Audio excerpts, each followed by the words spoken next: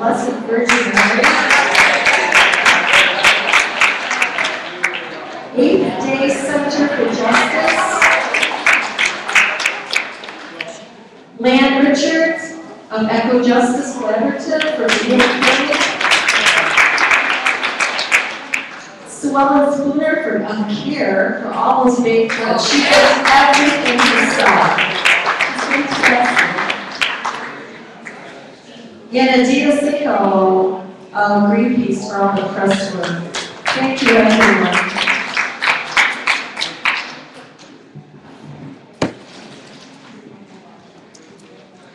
And now we want, we want to introduce the next case.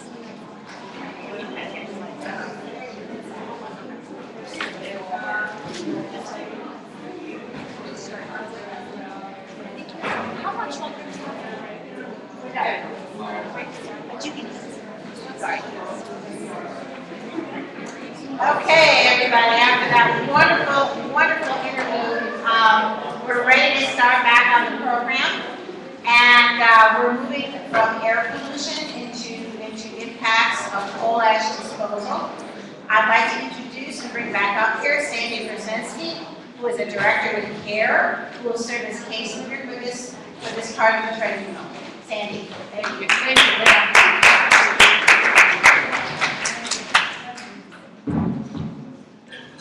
I'm kind of short, so I can say this in. Thank you, Pam. Good afternoon. According to reports such, such as Physicians for Social Responsibility, In Harm's Way, and Illinois at Risk by the Environmental Integrity Project and Prairie Network, many news articles and research Citizens Against Ruining the Environment, CARE, has done, we know very well the negative impacts on our health and the environment since these facilities are located in our backyards. There are no boundaries for water and air. The burning of coal and its waste does not pick and choose specific classes or genders or ethnic groups. It affects us all. Like the Romeoville coal-fired power plant, Midwest Generation's Joliet facility is also grandfathered from the Clean Air Act. Both Romeoville and Joliet are located in Will County. Will County's primary source for drinking water is well water. After coal is burned, it produces a waste byproduct collectively called coal ash.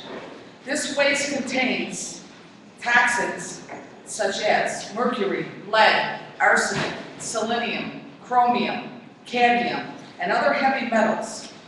Many of these heavy metals are toxic, carcinogenic, and can cause birth defects.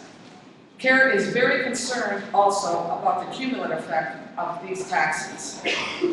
Joliet's coal plant is also home to an unlined landfill known as Lincoln Stone Quarry. Since 1996, it has been exempt from the Illinois Class 1 groundwater standards. The Joliet facility also ranks in the top 40 for contaminated sites in the United States. Midwest Generation has been dumping coal ash in this unlined quarry since 1962. According to data that CARE has collected, the IEPA has been aware since 1995 that this landfill is a toxic source of toxic contaminants and heavy metals, such as arsenic, which has already been detected off-site. They also know there is a strong indication that these contaminants and toxic metals could potentially impact our drinking water. Quarries, by their very nature, are fractured bedrock. Within close proximity of the Lincoln Stone Quarry landfill, there is an active quarry where there is blasting regularly. Local residents have complained about their homes shaking and the cracks in their walls from the blasting. We can only imagine what effect this blasting is having on this unlined coal ash landfill. The EPA insists there is no, no problem coming from the Midwest Generation facility. With the many health issues of residents not only in this area, but throughout the county, we want to feel secure that our wells are not contaminated. Although the government states our water is safe, the health department only tests private wells for bacteria. CARE believes that regulating coal ash and treating it as hazardous waste is crucial for the protection of human health, safety, and the environment. throughout the United States. Thank you. I would, I would like to now bring up our first witness, Juanita Stokes.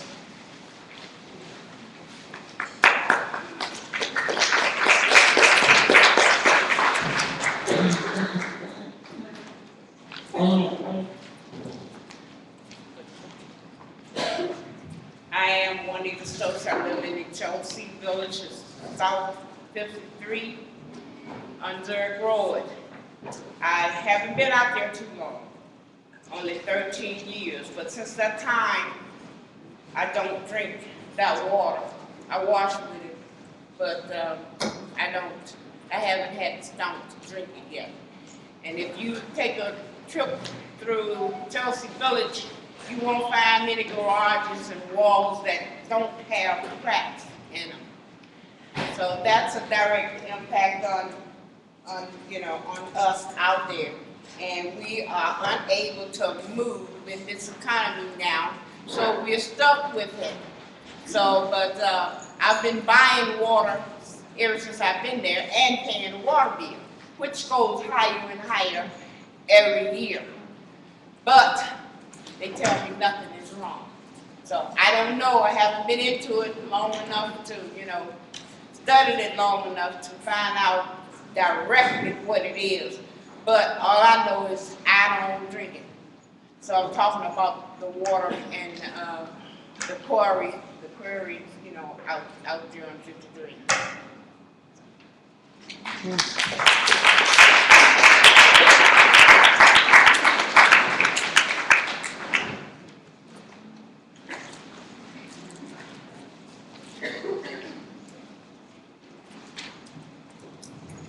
The second witness is a member of this Sacred Heart community, Ken, uh, Kaiser.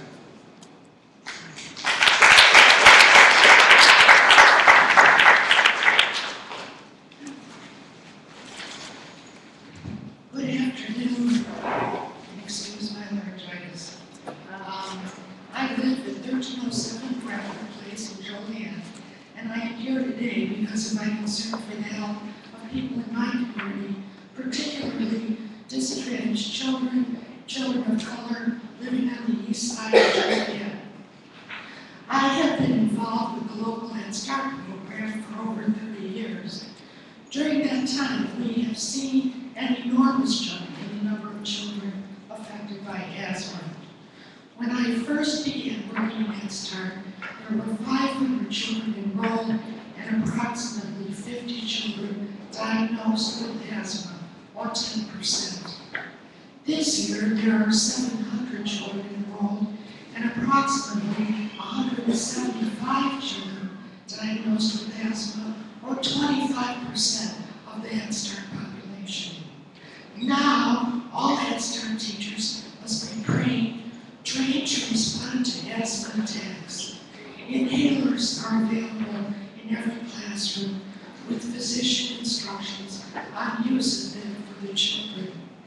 In the current Head Start population, six children require EpiPens on site due to the severity of their asthma attacks. Sadly, there was a tragic tragedy, terrible tragedy, at one of our Head Start centers, the Bluff Center. A few years ago, Ms. Rodriguez worked as a teacher assistant at the center. One afternoon, her daughter, ten-year-old Maria, stopped by the center after school. Maria suffered from chronic asthma, and her mother struggled to keep up with the cost of medical treatment for her daughter. On that particular day, an asthma attack came on the child suddenly. Staff struggled to respond. 911 was called. Maria died from the asthma in one of those Head Start classrooms.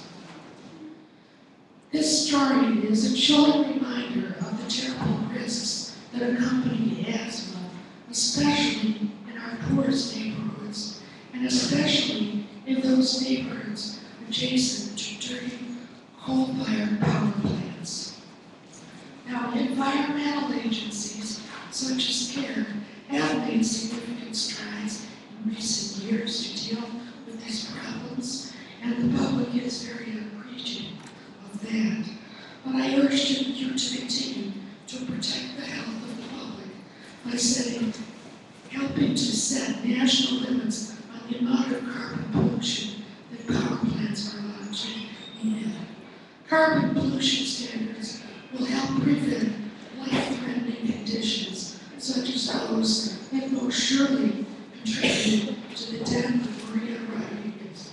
Thank you for your attention.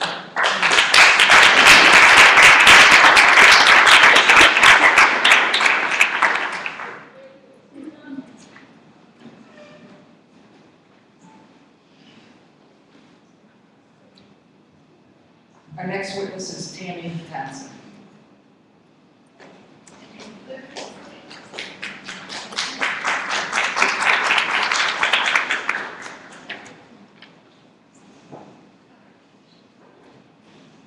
Hi. I wasn't prepared for this, so give me a second. Um, the first thing that comes to mind is we moved out to Channahon, Joliet area, and I did my to work for a lot of these corporations, Exelon being a big one, A from Abbott Labs to Waste Management. And I contacted the EPA before moving there to make sure that it was safe. I didn't know anything about non-attainment, I do now. Um, in recent years, we moved out of there and we took a big hit just to get out. But my best friend fought Hodgkin's, leukemia, a growth on her thyroid the size of an Italian sausage, a heart attack, now needs a heart transplant. And two weeks ago, her husband collapsed, collapsed, a former employee of Midwest Generation. His kidneys are failing, his liver is failing, and his pancreas is failing. And he's been disabled for years. Many of the residents in my neighborhood the same. The same when you look at the residents over at Smiley subdivision. During all these years of trying to find answers, because I was getting sick, I started realizing how sick my neighbors were. And we started putting two and two together and um, corresponding with the EPA and meeting care, and thanks to PIRG, all of us have all connected together. Um, recently went with Mr. Withers last year to go and meet with folks in Washington DC, and it was appalling way we were treated, as well as the way we were treated in our community for the last dozen years. The doors are slammed in our faces. Um, it was so bad that, not of my accord, Erin Brockovich called me to tell me how bad it was in the area that we're living in. Also during that time, US EPA during the Olympics in Beijing informed me that the air quality in Chicago was basically the same air quality as it is in Beijing. That speaks volumes because a lot of people backed out of going to the Olympics because the air quality is so bad. And since then, in going to Washington DC, all we met was thousands of people and thousands of communities, and the only help they've gotten is cancer treatment centers funded by the same corporations that are making people sick. Filling our, as I'm putting makeup on to come here today, I don't know how much coal ash is in there. As they're putting the roof on on the house that we're living in right now, I don't know how much coal ash is going in there. Kids in our neighborhoods are testing positive for mercury, arsenic, thallium, and lead. My little girl that's standing here right now, Faith, she was so sick when we were living there. She'd be saying, Mommy, my head, my head, what that smell? That smell was still the same smell down I-55 as we were driving here today, coming from Romeoville. And all these people in these communities are suffering needlessly and endlessly and hopelessly. And uh, the ironic twist is, is they're putting wind farms and putting stuff through our communities, but we're not getting the power. Same with the coal plants in our neighborhoods. We're not getting anything but sick. And something needs to be done to help these folks and stop this from happening. Because Ray's never going to be able to afford this medical bill, and neither is Don get the transplants. And all the kids are falling out of their chairs with brain seizures, tumors, the cancers, heart transplants, kidney transplants. The folks in the Smiley subdivision, how the water burns your skin. We're all collateral damage at whose expense? And we're all living down there downwind and downstream, so we're all impacted, whether it be just locally here. We need to step up and do the right thing and hold our elected representatives accountable. They are the top one percent insider trading creeps that have decided to make us collateral damage. That's not capitalism. We're Americans. We can do better for our kids.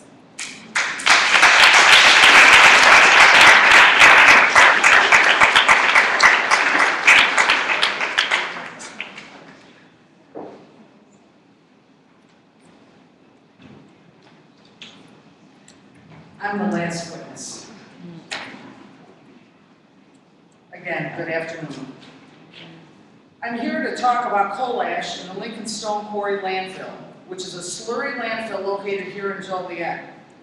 This facility has been used as a landfill disposal site for coal ash since 1962. Ironically, the same year Rachel Carson published Silent Spring. Anything I have read about coal ash states that it contains dangerous contaminants such as arsenic, mercury, lead, boron, and chromium, to name a few. Yet coal ash is being put into unlined landfills like the Lincoln Stone Quarry landfill with regulations and fines which I believe are not strong enough to protect our water supply, our health, and the environment. There are monitoring wells for the landfill. I've learned that facilities like Lincoln Stone Quarry, landfill, self-implement EPA's rules and regulations. But in my opinion, this is nothing more than the EPA passing the responsibilities of their jobs over to these companies, which are monitoring themselves. Many times over the years, I've told representatives of the EPA, elected officials who make these laws, and anyone who would listen, that in my opinion, this is nothing more than the fox in the henhouse approach to regulating these and many other facilities. As stated in a 2009 New York Times article from the series Toxic Waters by Charles Du- Duhigg, and I quote, Yet no federal regulations specifically govern the disposal of power plant discharges into waterways or landfills. Some regulators have used laws like the Clean Water Act to combat such pollution, but those laws can prove inadequate, say regulators, because they do not mandate limits on the most dangerous chemicals in power plant wastes, like arsenic and lead, end quote. In 2008, most of you probably heard this, in Kingston, Tennessee, toxic ash slurry flooded a wide area. In my opinion, it should not take another environmental disaster like this one for the EPA to decide that coal ash disposal should be regulated. Coal ash should be regulated as hazardous waste. I believe anything less will negatively impact our future. We should not be gambling with our future like this. One of seven public hearings was held in Chicago by the EPA to hear testimony concerning the regulation of coal ash. Many people, including myself, gave testimony. As yet, no decision has been made. In my opinion, you do not need a college degree to see that something is greatly amiss. When you have coal ash with all its known dangerous contaminants, which is not specifically regulated, going into an unlined landfill with little to no oversight by the EPA.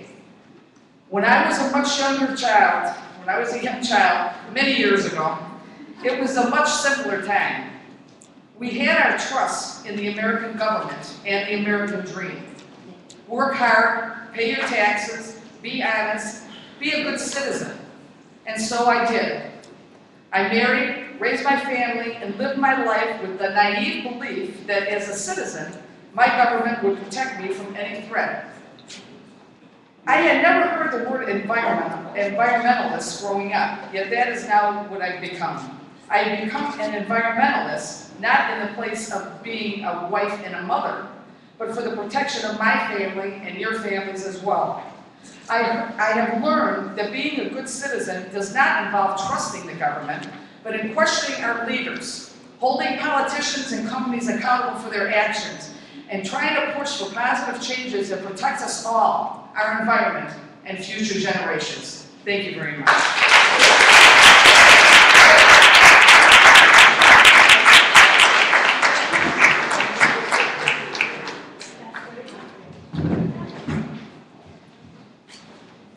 Much, Sandy, and all the witnesses that just spoke so powerfully.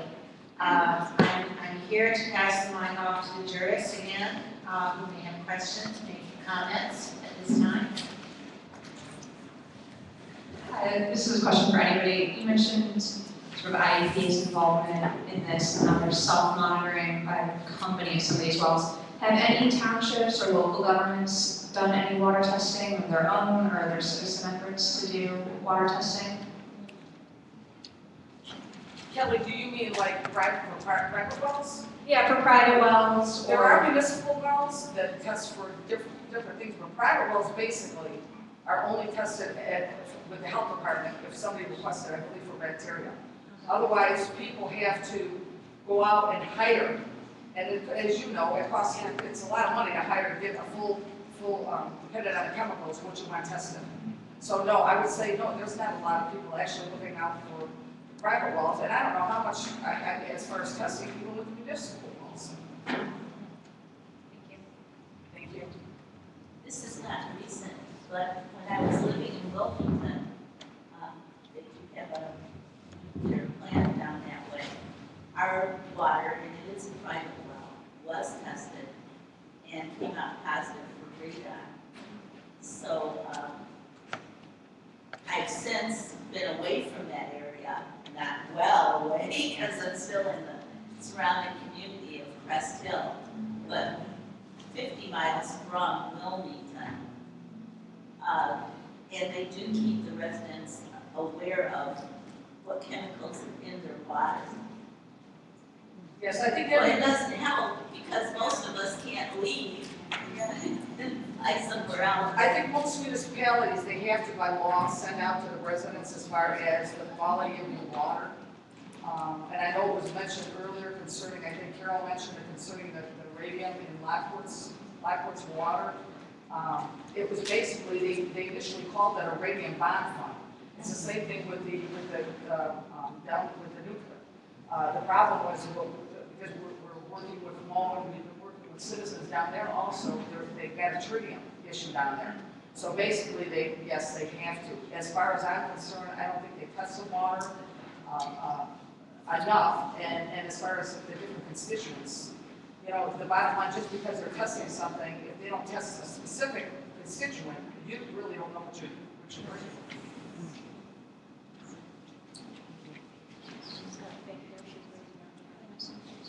Oh, you have something to add, Mo? Yes, uh, the federal government, there's some, there's a website called scorecard.org, and actually they get this data from the US EPA. That data comes from the states in terms of TRI, toxic release inventory. Again, and this is the heart of it, self-monitor. So industry will say how many of all these different pollutants should be put into the air, and then the federal government, and it's an interesting thing, you can go home and put your zip code in, and you could spend hours looking at all of the uh, chemicals that you're exposed to, and it goes into health risks. The problem is the EPA is woefully behind in giving you current data, and there were attempts on a federal level to stretch it to reports every two years instead of every year to thwart environmental activists from having the materials they need to buy. Thank you, thank you, thank you. You had a comment? regarding, uh, inadequate monitoring by IEPA and self-monitoring by industry. I read recently that the budget for IEPA is fifty percent of what it was, what, eight years ago? Is part of their passing off this monitoring just because it's understaffed, or we assume that the, staff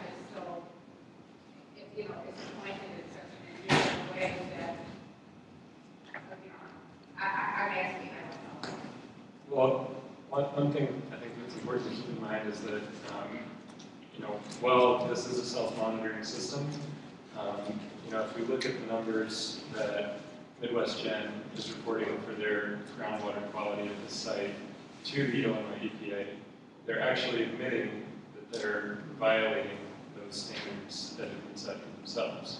So while it's true that self-reporting, they're, you know, they're, they're, they're making no secret about the fact that they're violating the adjusted groundwater quality standard, which was set in 1996, and it's been going up on the screen. Those standards are significantly, significantly less stringent uh, than uh, groundwater quality standards are supposed to be at other sites across the state.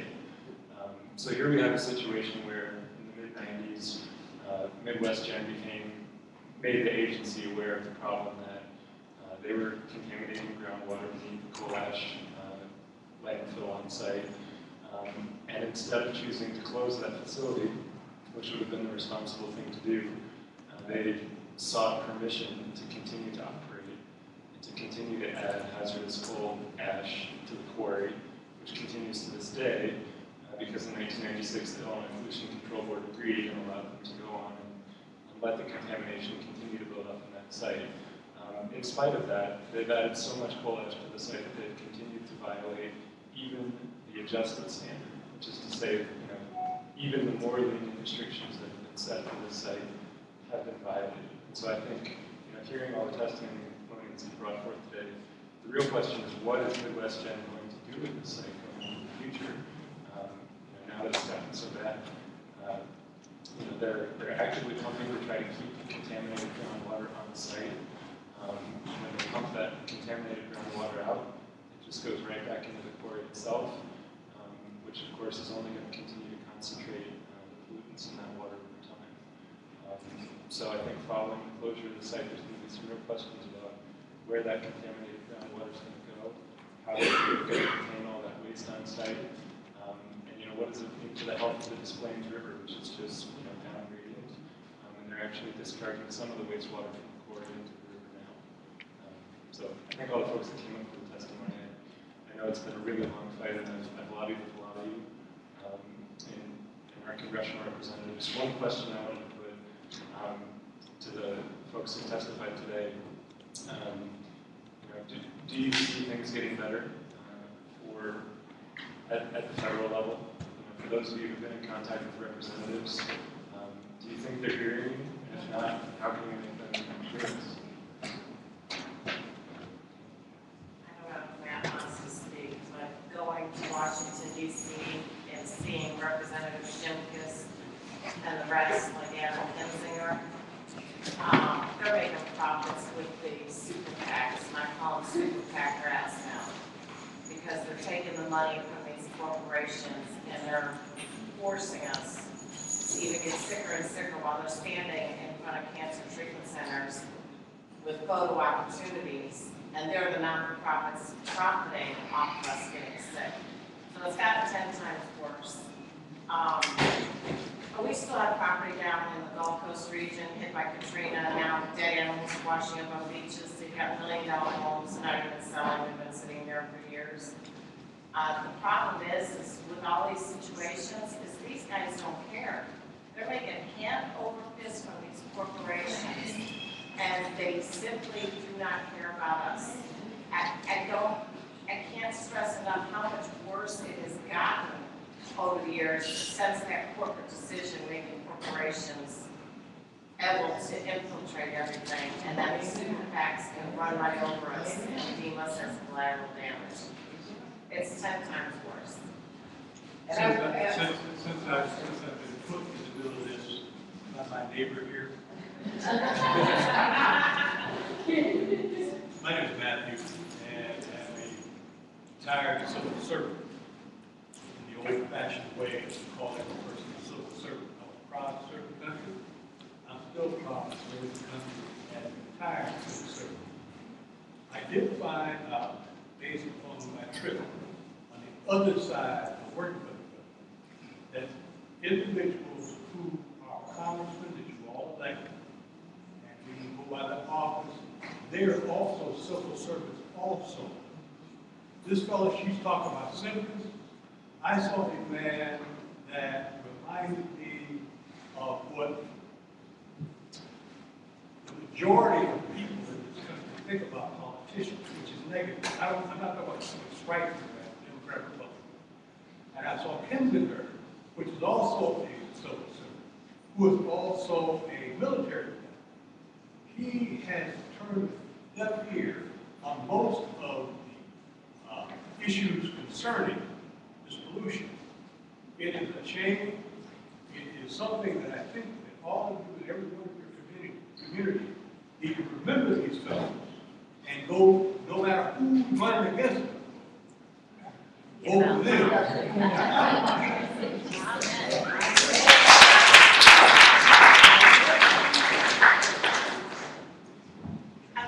I add one more thing, when I brought up the Gulf Coast? When we saw Shilkis testify, they're making new roofs, new countertops, new shingles, new carpeting, everything is made from coal ash. The point I was making about the Gulf Coast is all the houses are contaminated wallboard and stuff coming from China. We're manufacturing the same things here, putting them in our houses, and Shilkis and these guys are sitting in the hearings bragging, we're making this in the USA, while we're burying the employees that are manufacturing it, and we'll be burying our children in the homes that are gonna be living in them here in the USA. That, that's another very good point, thank you, Tammy. That's a very good point. Okay, how about you, Joyce, do you have any more comments to make? In this case? You have a question, Martha has a question. I'm coming this way, Martha. I got tangled up with Jackie the other way. Um, what I hear from, you know, all your testimonies, tell me that things are really, really going bad in the USA. But what I know is that the real richness of a nation are the people. So, some people said here that they expect that through this tribunal, they will create the change that is needed to make all of us winners. I want to hear some of you. Did you hear that question? And out of this tribunal, what is it that is inspiring you? How are you, how do you think that we can get really this winning for all of you here? I just need to hear a little bit of that because then I have a suggestion. And guess what, our case three is gonna talk about some of that winning, and I'm very glad that we have that case to look forward to. Um, but as we close this one out, is there anything more from the jurists that we need to hear now? Okay, well then Jerry, would you come up and introduce our, um, musician for the second in session? Um, and I'm glad you're here, Chuy, I'm delighted, I'm delighted that you traveled here from Chicago to be with us today.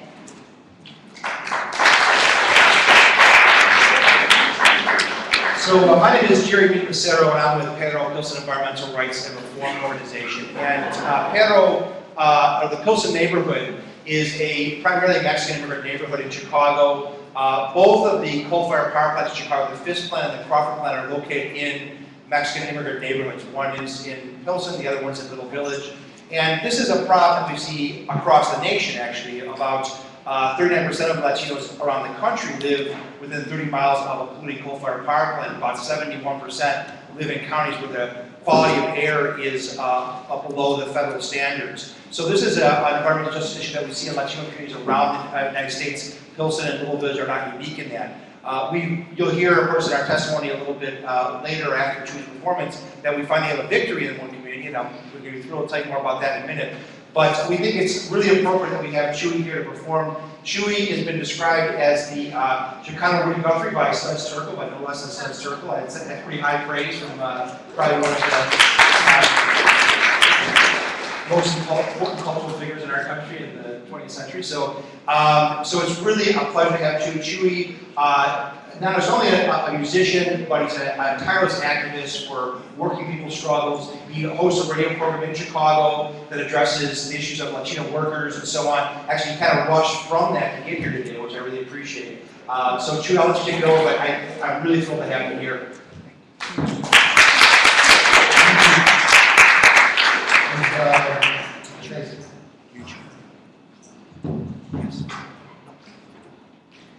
I wanna first, uh, I've learned so much just in the time I've been here. But I, I want you, I want to bring greetings from the, uh, the uh, environmental, uh, justice projects in the state of Houston.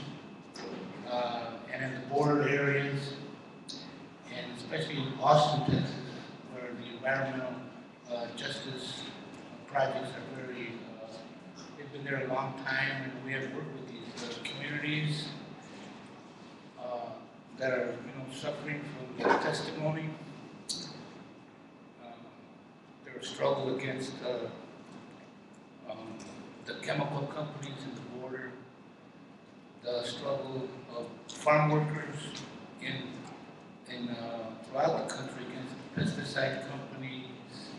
So I bring greetings also from FLOC, Farm Labor Organizing Committee. These, um, workers, this year alone, about five of them have died from uh, tobacco poisoning and, uh, and environmental things that, that they use in the soil. So, um, I like to do a, a series of little small vignettes, but also I have to ask, I also want to thank the, the Loretto sisters.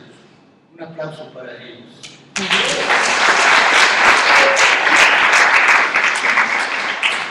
And, uh, those uh, radical nuns.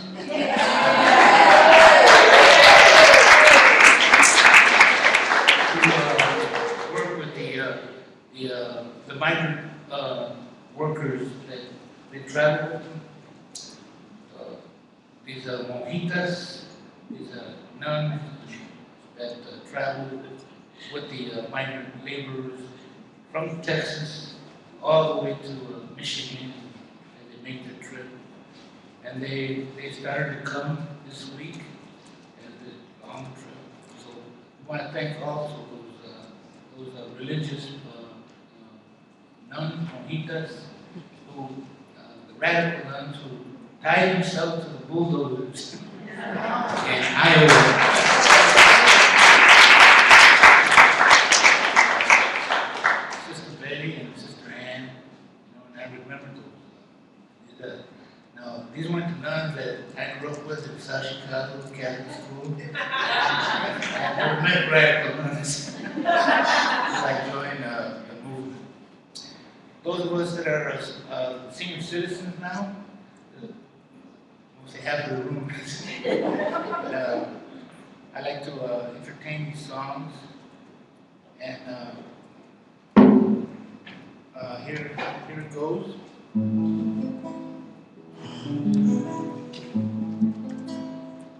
Up to Illinois, from Mexico, the fields around oh, Onondaga to toil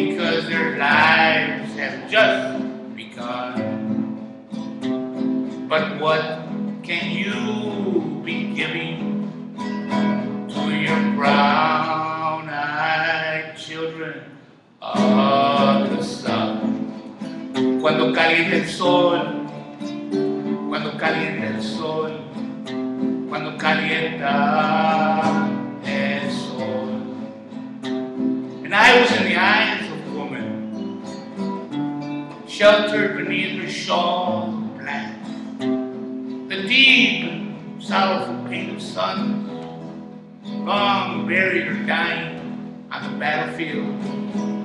Or at the farm labor strike. And her rosary she prayed, her rosary she prayed endlessly, like the family that worked down the rows of sugar beets in Minnesota. To turn around and work.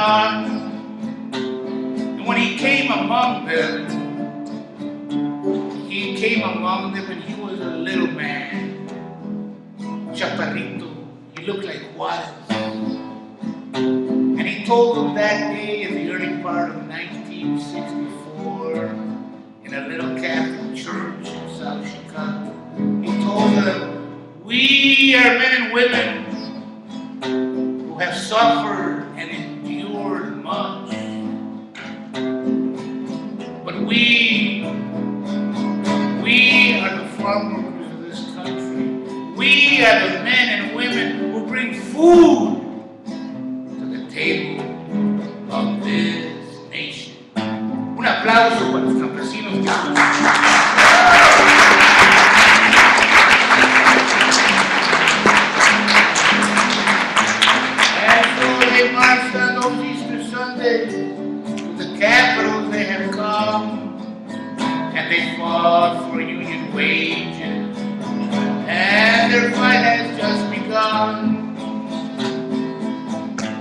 proud men and women, and this heritage of struggle is one. And it's this heritage, this history of struggle, that we can leave to our children of the sun. Huelga, huelga, huelga. Huelga, it means strike. Huelga, huelga, huelga. We have just begun to fight. And though the struggle is hard and long and hot, la lucha es larga y ardiosa. But God knows that we are not subverted. God knows that we are not agricultural. God knows that we, we are not slaves. We are the men and women, as I said, that bring food to the table of this nation. And in the end, with your help, with the help of all God's people, in the end, we the farm workers, together with your help, we will win. All right, everybody, clap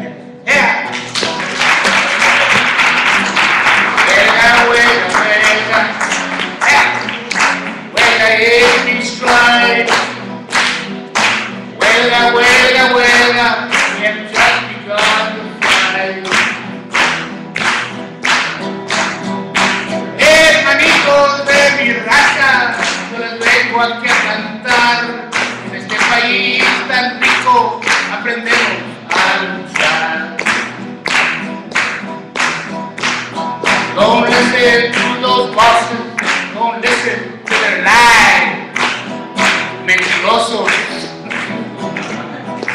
Lies. Don't listen to those bosses. Don't listen to their lies. We poor folks haven't got a chance unless we organize. What is everybody clapping and yeah. Wait up, wait up, wait up. Wait up, need to be strong. Wait up, wait up, wait up just begun to fight. In the year of thirty-seven, in the year of thirty-seven, before it was too late, in front of the factory gate, Decía Lucy Gonzalez, the wife of Albert Parsons, Decía Lucy Gonzalez, the wife of Albert Parsons, que no se raje nadie, que es mejor aguantar hambre, that no one give up the struggle, it is better to die of hunger. Huelga, huelga, huelga, huelga is be strong. Huelga, huelga, huelga, we have just begun to fight. In the year of thirty-seven, in front of the coal plant, in the year of thirty-seven, in the polluting steel mill, in the year of thirty-seven, in front of the polluting plant, Decía Lucy Gonzalez, before it was too late. Brown, red, black and white, all the workers must unite. Brown, red, black and white, all the workers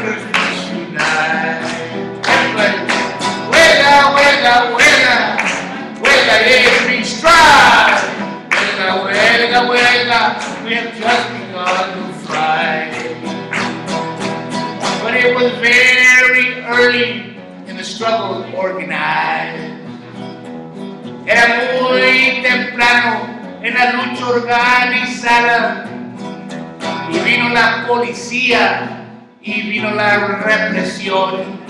Vino la policía y vino la represión. 15 muertos, 30 heridos, 50 dead, 30 hit that day at the factory gate at the Memorial Massacre. This is Lucy Gonzalez Diaz, wife of Albert Parsons, who was hung in the Haymarket riots. Is Albert Parsons. Dice Lucy Gonzalez, before it was too late. Dice Lucy Gonzalez, that day at the factory gate. Brown, red, black, and white, all the workers must unite. Everybody. Brown, red, black, and white, all the workers must unite. All right, everybody clap your hands. Brown, red, black, and white, all the workers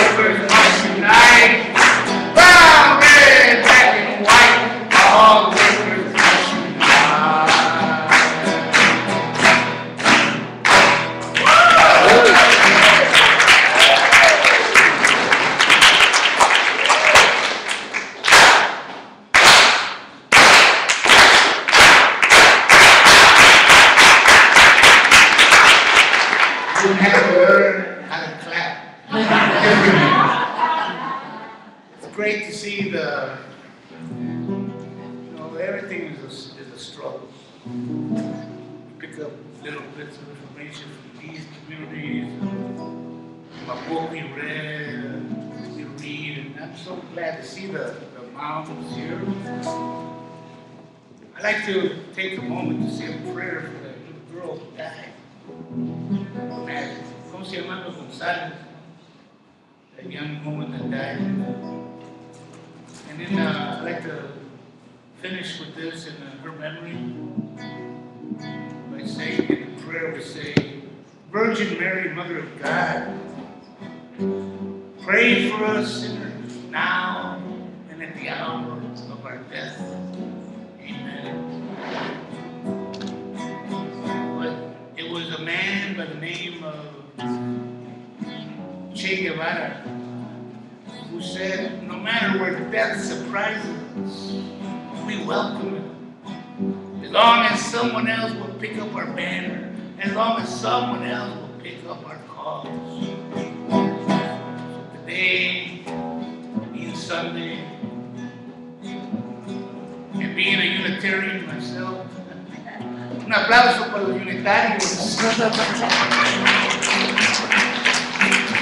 can't be everywhere, but they sent me to represent to the Unitarian, the Justice Center in Boston. The Unitarians have always been in our struggle so as we continue our struggle against these pesticides, against these environmentals, we say the following song that says, and means someday we will walk with each other, we will walk hand in hand, we will walk hand in hand, we will walk hand in hand, and together we'll spread the news that God they'll know we are Christians by our love, by our love. Yes, they'll know we are Christians by our love. We are one in the Spirit. We are one in the Lord. We are one in the Spirit. We are one in the Lord. And together we'll spread the news that God is in our land. And they'll know we are Christians by our love, our love. Yes, they'll know we are Christians by our love. We will pray with each other. We will pray with each other. We will pray hand in hand. We will pray with each other. We will pray hand in hand. And together we'll spread the news that God is in our land. And they'll know we are Christians by our love, by our love. They'll know Christians by our love. We will walk with each other. We will walk with each other. We will walk hand in hand. We will walk with each other. We will walk hand in hand. And together we'll spread the news that God is in our land. And they'll know we are Christians by our love, by our love. Yes, they'll know love. We will march with each other. All right, everybody, get ready. We will march with each other.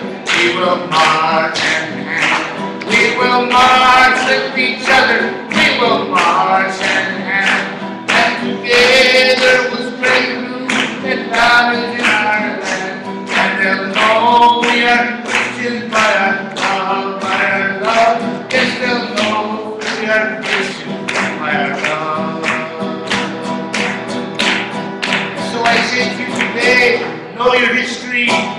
study your history, so that you don't repeat history, but that here in Joliet and Illinois, you can make history. Brown, red, black, and white, all the people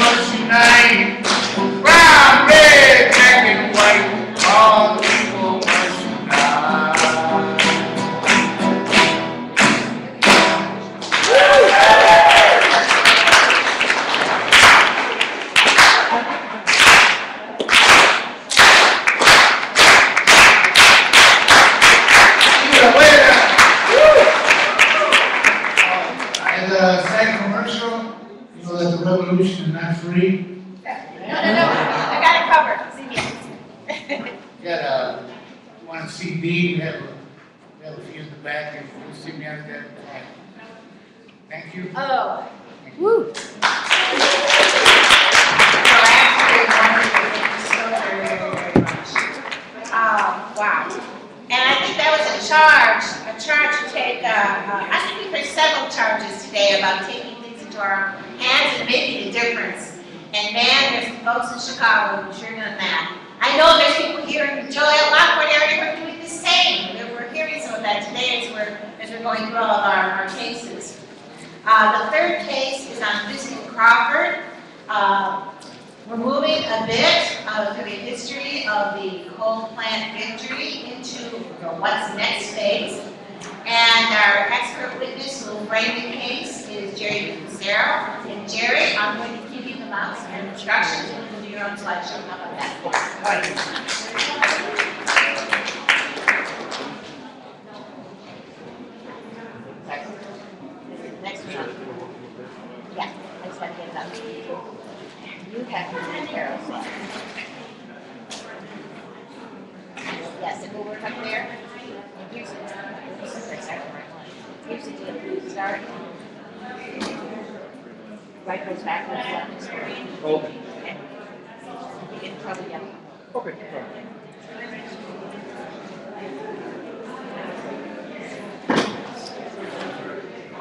Okay, guys, I know it's been a long day, and uh, this is the final case, so we'll try to, try to move it along. I appreciate all your patience and your uh, your willingness to stick it out today, because I know this is a long event, but I, I think that uh, what's great about our case is this is one where we actually have at least a first step victory. So if, if you've uh,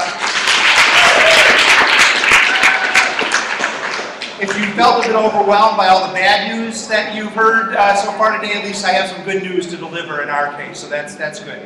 Um, my name is uh, Jerry Mead-Lucero. Uh, I'm the for PERRO, Pilsen Environmental Rights and Reform Organization. You heard me introduced as the expert witness for this case. I find that a bit of an odd term to use because obviously I think the experts here are people like Leila Mendez, who I'll be introducing to you shortly, who's a, a lifelong resident of Pilsen, who's dealt with the effects of this plant far more than I have, and certainly I think is more of an expert on this uh, ultimately than I am. Or uh, people like uh, Stephanie Dunn, who I'll be introducing to you later on, who actually launched her own hunger strike uh, against the pollution from these plants. Uh, she'll talk to you about uh, you making sure these plants are cleaned up. And people like Mar uh, Marta Aguila, who's from UIC, a school right next to Pilsen here, a university right next to Pilsen.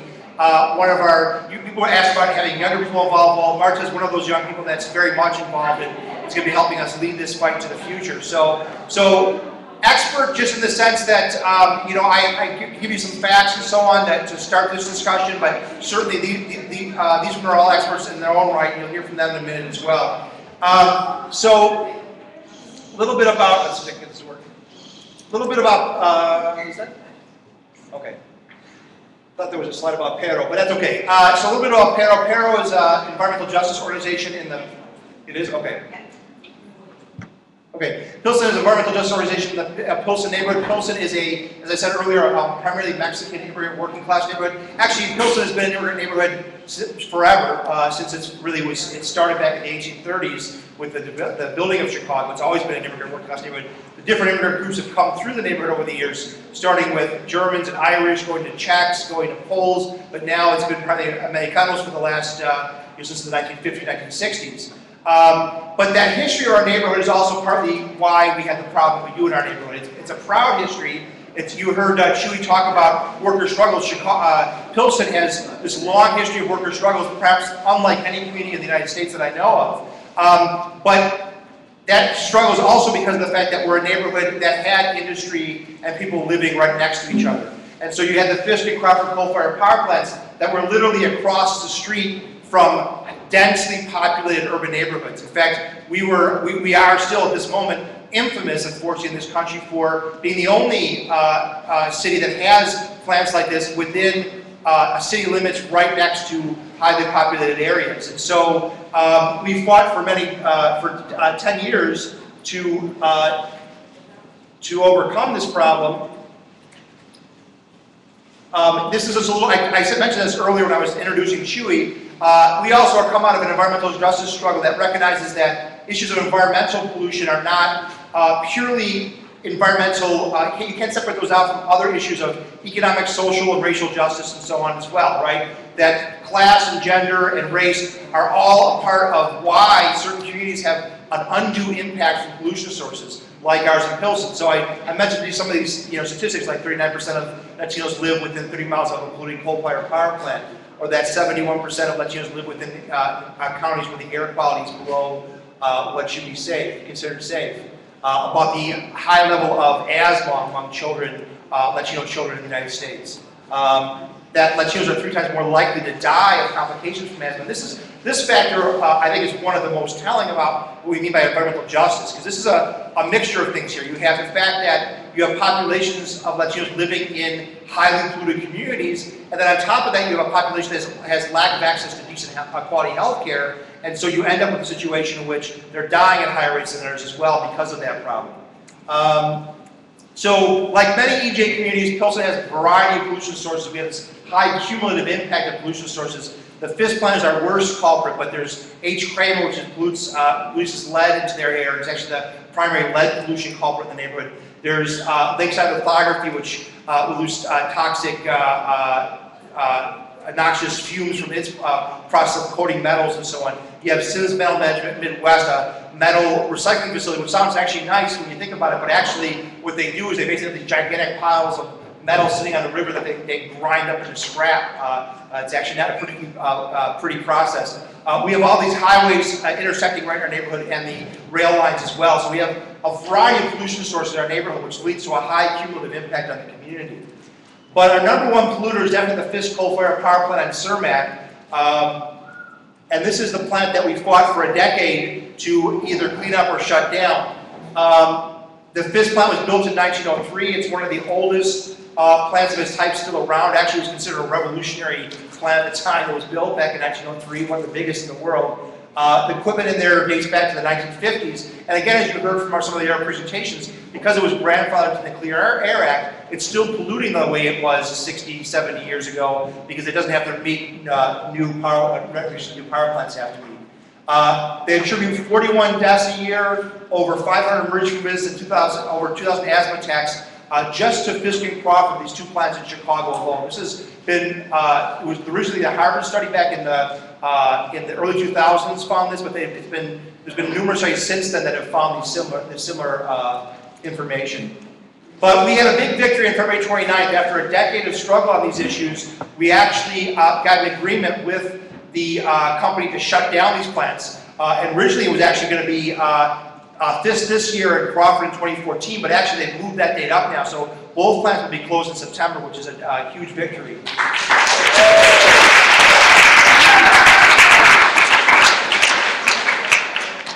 And in those agreements, uh, we actually uh, won some other things too. There's agreements between the community organizations uh, and the company, between the Clean Power Coalition and the company, and between the City of Chicago and the company. Um, and one of those things is the creation of a uh, both a, a, mayor, the mayor of Chicago created a task force to look at this issue in the future, and also there's a community engagement council that the community groups created with the company to look at the future of what's going to happen to these sites. Now, the Fisk property has been polluted for over 109 years, so you can just imagine what kind of pollution that we're talking about at this site. And as the company has said repeatedly, all they're required to do is put a fence up, put a guard at that fence, and make sure that nobody goes in there, and they can be a brownfield forever as far as they're concerned, right? That's all they're legally required to do. So we're really entering a new phase in our campaign, which is how do we make sure that that's not what happens, right? So one of these entities is the mayor created a task force that's going to look at this issue, which we're sitting on right now. And right now, everything is, seems very hunky-dory. The company and the city and all of us are getting along and talking about ideas. How long that will be last, we'll see. Um, but right now, everybody seems to be on the same page. Um, the focus of the task force will be remediation of each site, making sure the site is cleaned up, and the redevelopment of each site. One of the problems we've run into already is that, uh, you know, the company and the city, they kind of want to focus on the redevelopment. The people in the neighborhood, of course, are most concerned about the remediation, but they're a little bit of a chicken and the egg scenario where there's no money to pay for remediation, so the company and the city say, well, let's figure out who's going to buy the site and who's going to redevelop it, and then we can figure out who's going to pay for the remediation. Um, so there's this kind of catch-22 that we're in right now where you know, we're not, we're concerned that we make sure it gets cleaned up. We also want to know what's going to happen with in the future. If there's no money or nobody taking responsibility to make sure the cleanup happens, and they all want to kind of, you know, push it off on whoever that, ever that next entity will be that's actually going to redevelop the sites. Um, the timeline for the task force was really three months. It was going to take three months to uh, uh, reach a, at least a, what they call guiding principles, which were this idea of what we do want to see happen or don't want to see happen with the sites. That's a ridiculously short amount of time. The community groups pushed back on that. We got an extra month, so it's kind of extended to four months now. But it's still a very short time. But we're doing our best to try to uh, to actually have a community process to engage with the community and figure out what they'd like to see uh, with the sites and how they'd like to see them cleaned up. It is kind of an exciting phase to be in, right? After 10 years of fighting to get these places closed down, now we're in a stage where we're actually going to create something. And one of those things might be the creation of more jobs, hopefully. That's one thing we're looking at, or the creation of green space is something else we're looking at. So all these years, too, we've been told, you know, how all we're doing is, you know, uh, uh, uh, making good jobs go away. Now we're at a stage where we can actually bring jobs, hopefully, back to the community, but the ones that are not killing residents of the community at the same time. Um,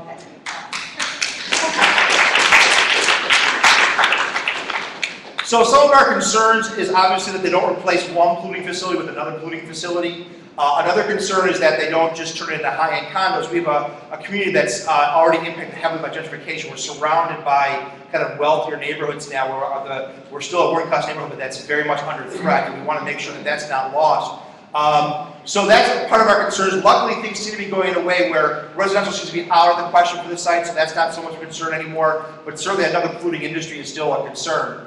Um, this is the uh, this plant site itself. Um, let's see if I.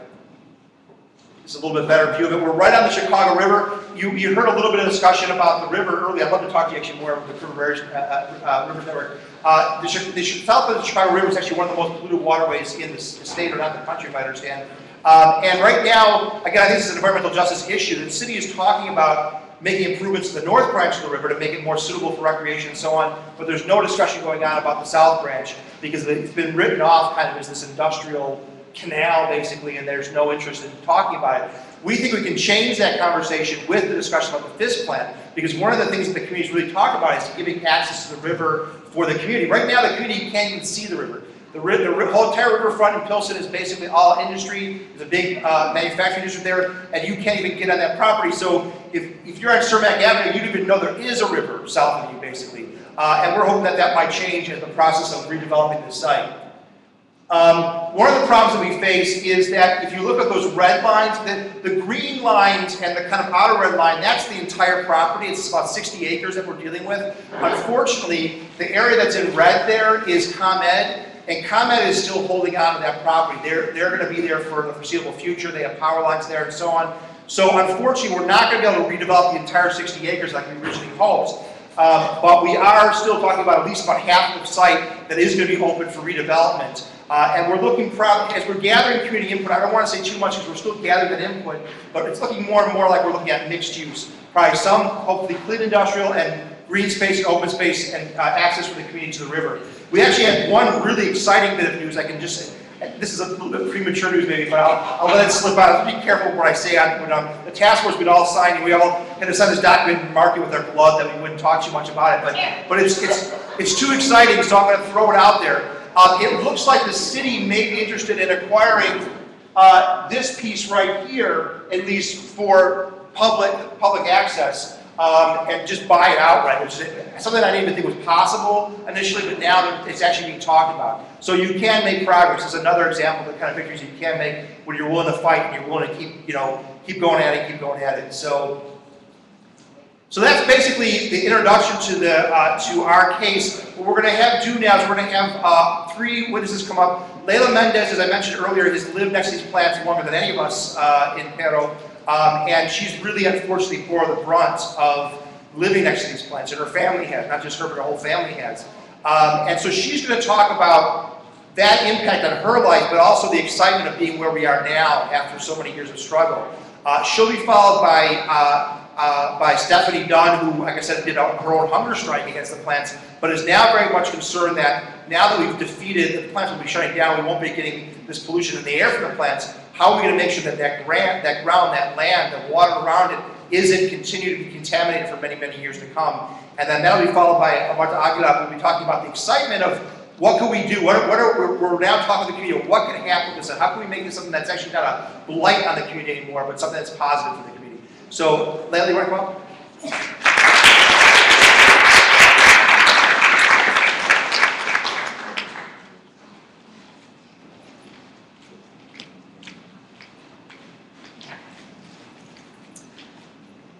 Hello, everybody. Let me catch my breath because this has been an emotional afternoon. Uh, I'd like to begin by thanking everyone for being here today. I personally want to thank you for all of the work that you're doing. And I wanted to begin with that. Um, like Jerry said, my name is Leila Mendez. I first, uh, my family moved to Pilsen uh, 45 years ago. I was nine years old at the time. And um, in 1998, big jump, in 1998 I was taking a shower when I discovered a big lump on my breast here. I freaked out. Some of you know what it feels like. And I freaked out and uh, I immediately called the doctor and um, they scheduled me right away for ultrasounds and all the testing that you have to go through. I've never been more afraid in my life than at that time. And not because of dying, because I'm not really afraid of dying. It was more because I'm a mother and I had a son. And that was the saddest thing. My husband, I figured out he'll find somebody else, so it's no big deal. But my son can't find another mother, you know, so I was, I was pretty broken up about that. But I'm also, I'm a person of faith. And, and I prayed to God and I said, Lord, if it's my time, you know, just help me be brave and, and deal with this. I don't understand what's going on, but whatever. So I went to Northwestern Memorial Hospital and uh, the technician told me, yeah, that I did have, I had big mass there and, and that I should take care of it. And I was, I was terrified and I, uh, Northwestern's on Michigan Avenue, and there's a, a beautiful Episcopalian church that's always open. So I walked in there and I cried and I prayed and I said, Lord, just help me deal with whatever has to come. And if you want me to testify, I'll do it. Help me have the courage. So I went through the surgeries and all that, and then they, they told me, um, you had a phylloides tumor. I'm like, oh, okay, what's that? They said, well, oh, I forgot to tell you that, that when they told me that I had something there, they said, we'll see you in six months, monitor it. And I thought, mm, I don't think so. You're going to take this thing out of here. So when they removed it, they realized that it was a phylloides tumor, and that's a very rare and aggressive tumor. I would not be standing here right now if I had taken the doctor's advice. And because I'm stubborn and all that, I, I am here right now, and I believe the my purpose was to come and do what I've been doing with PERRO. There was a plan. So um, I started wondering, why did I have this? I couldn't understand why, and I came to the conclusion that it must be something in my environment. I didn't drink alcohol, never drank coffee. I was raised in the Seventh-day Adventists, and those of you that know about religion, you're pretty healthy and take care of what you eat and what you do. So I couldn't figure it out, and I realized it was environmental, but I didn't know what in my community it was. But then, um, a friend told me, Lena, there's an organization here in Pilsen, it's called PERRO. You should go and see what's, what that's about. And I went to my first meeting, and as I sat there listening, it was like the second meeting PERRO had just, they had just formed, and it was like their second meeting.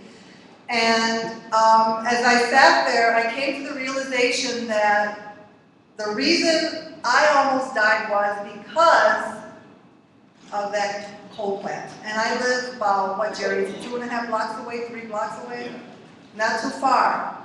And then I decided to get involved with PERRO. And then I started learning about all the people dying. I got really emotional when I started hearing the testimonies because um, um, that's just the way I am. But when I think of people dying because of this, the injustice, it just infuriates me and then it brings me to tears. And so I got involved with PERRO and um, I also learned the reason my sister died at an early age from a rare disease that they couldn't figure out. The coal plants took her too. They took her at a young age. She was sick from age 13 to 21. She had this rare illness, debilitating. And I have another sister who has a rare blood disease, blood disorder. I have a sister that's a cancer survivor from thyroid, thyroid cancer. I have another one that has um, hyperthyroidism. But fortunately, it hasn't gotten worse. And people ask me all the time in my activism, well, why don't you move? My conscience wouldn't allow me. And then people don't realize, yeah, I can move from Pilsen, but this, these contaminants are all over the world. I'd have to move to another planet. And I really don't want to do that, not that I'm able to. so, I decided to stay in Pilsen to fight. And I thank my Lord. I honestly believe that I, I, I, this happened to me because I have so much faith in God. He gave me the courage to fight and not be afraid. People would ask me at, press conferences, reporters, uh, residents of the community, aren't you frustrated? Aren't you tired of fighting? It's like you never think about that. When we had the victory, well, let me tell you about when Greenpeace came. And this is for the group here. I don't want you to give up. I don't want you to give up. If there's anything I can do, I'll be there for you. But you have to, you have to keep fighting. You can't listen to people telling you it's hopeless. You've been involved in that 20 years. That's a huge corporation. You can't listen to that. PERRO, six, a little group of six people did this with other volunteers, like we have three beautiful young ladies here. Came up on Sunday to be here. And PERRO has more volunteers all the time, from the university, from the high schools, we have an intern. We don't have any money, we've always just been using whatever we can. Um, Greenpeace got involved, Sierra Club. Um, when Greenpeace came and had their action last year, and they sent the activists to climb up the stack, and I saw that, I was, I just started crying and crying, and I didn't know this was going to happen to me, but I was just hysterical when I saw those people up there doing this for me, doing this for you. These activists are incredible. To see them up there risking their lives, risking their lives for us. I want you to think about that. You're not alone. We are all in this together. This is one planet. And we all share it. We are all brothers and sisters. And we have to unite. We have to keep working together. People must stop dying. We might have to die in the process. We don't know. These are huge corporations. We don't know what threats they might bring, but we, we can't we can't stop. We have to continue and think of all the people in the past that have died, but we have to continue the fight. We have to continue. I didn't know Joliet was going through so much. I got, it was just, I had to leave to hear what you're going through. This has to stop. And we have to continue the fight. I was gonna say so much, but I just forgot because I just, it was just so emotional. But my message to you here is, don't give up. Get the people, get more people involved. Tell them, give them the message, and anything we can do to help. You're not alone. Greenpeace is here, federal, people from all over the world. We have to help. And Puni from, from Greenpeace told me, he said, Leila, once these two are down in Chicago, you'll see a domino effect. He mentioned Joliet, he said they're going to shut down. It's going to happen, but we have to keep the fight. We have to keep the faith and keep working. God bless you all, and I know we can do it. We just have to stay together.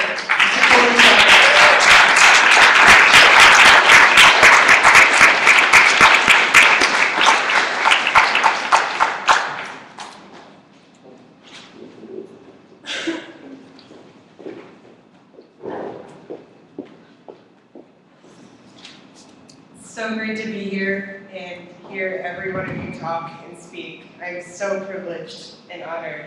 Thank you guys too.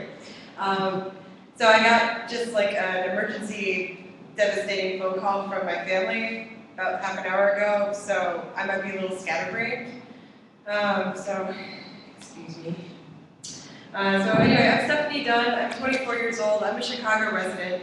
Um, I got my first death threat uh, last October. Um, and that's the kind of stuff that happens, I mean, as if they're not killing us enough with the pollution, you know? Um, so you probably notice interesting things start happening when you stop um, just being affected by things and start asking why you're being affected by those things and who's around that. Um, so I was doing some investigative work. Uh, I'm on Midwest Generation, and I was, um, I'll tell you guys, um, I was taking soil from the site to bring to my laboratory and uh, to see what I could do it. and uh, so I got caught once and, and got, uh, started getting funny phone calls um, threatening my life. And it was funny because when I got the death threat, you know, Stephanie, Stephanie Dunlop, you know, um, we're gonna kill you if you keep doing this. And then they just hung up. They didn't even wait for my response, which like was just like, well, you already are. You're already killing me. Okay. Um, so I work uh, in the laboratory with. Uh, I, I do soil soil remediation. I, I test with uh, oyster mushrooms actually. There's an amazing amount of literature on natural remediation. And the mushroom is actually one of the most complex, like mycelium is incredible.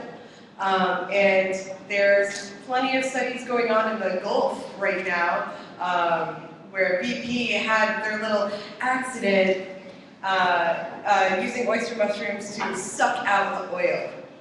And uh, Paul Stamets, who is the brains behind this operation, uh, who I just kind of want to kidnap and keep in my lab with me, um, actually ate the oyster mushrooms. I mean, they're edible. I actually ate them after they sucked out. So anyway, so that's what I study. I study remediation. And this site needs a lot of it. And um, I just kind of think that the community has paid for it already, and they're dead. Okay? They paid for it in their blood. They deserve to have Midwest generation pay for full remediation of this site. Pay for full people that are there that have been suffering against their will, slowly killed. Um, so anyway, so I went on a hunger strike to help pass the Clean Power Ordinance uh, August 1st through 5th last year. That was a good experience. I had a great time. I camped out in Daley Plaza for five days.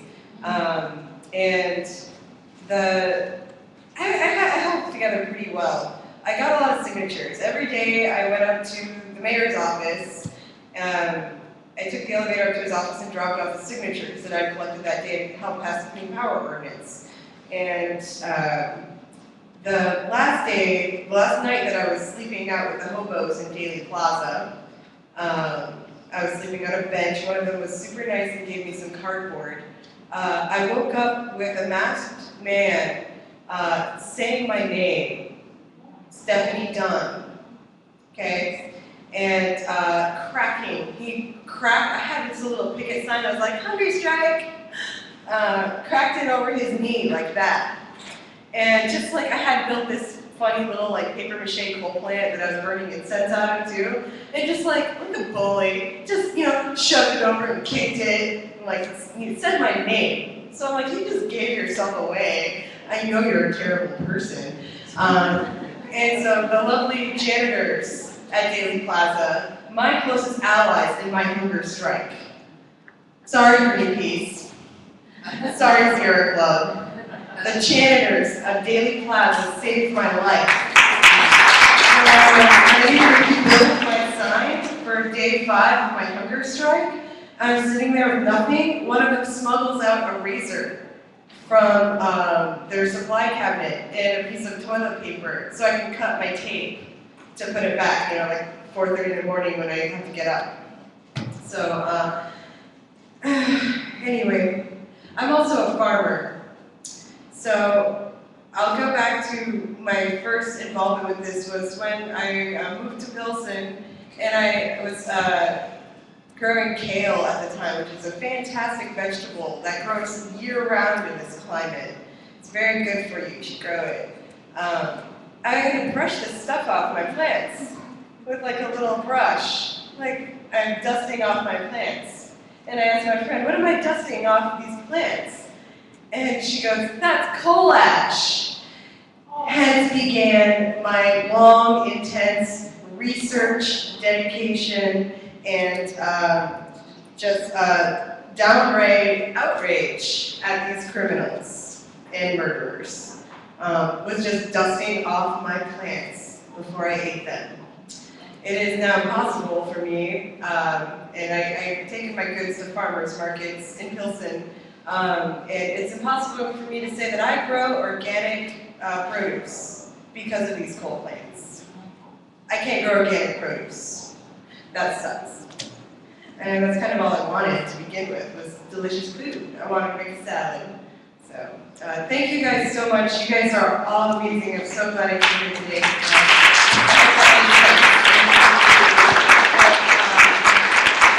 Martha, um, thank you. Please come up here and speak. Thank you.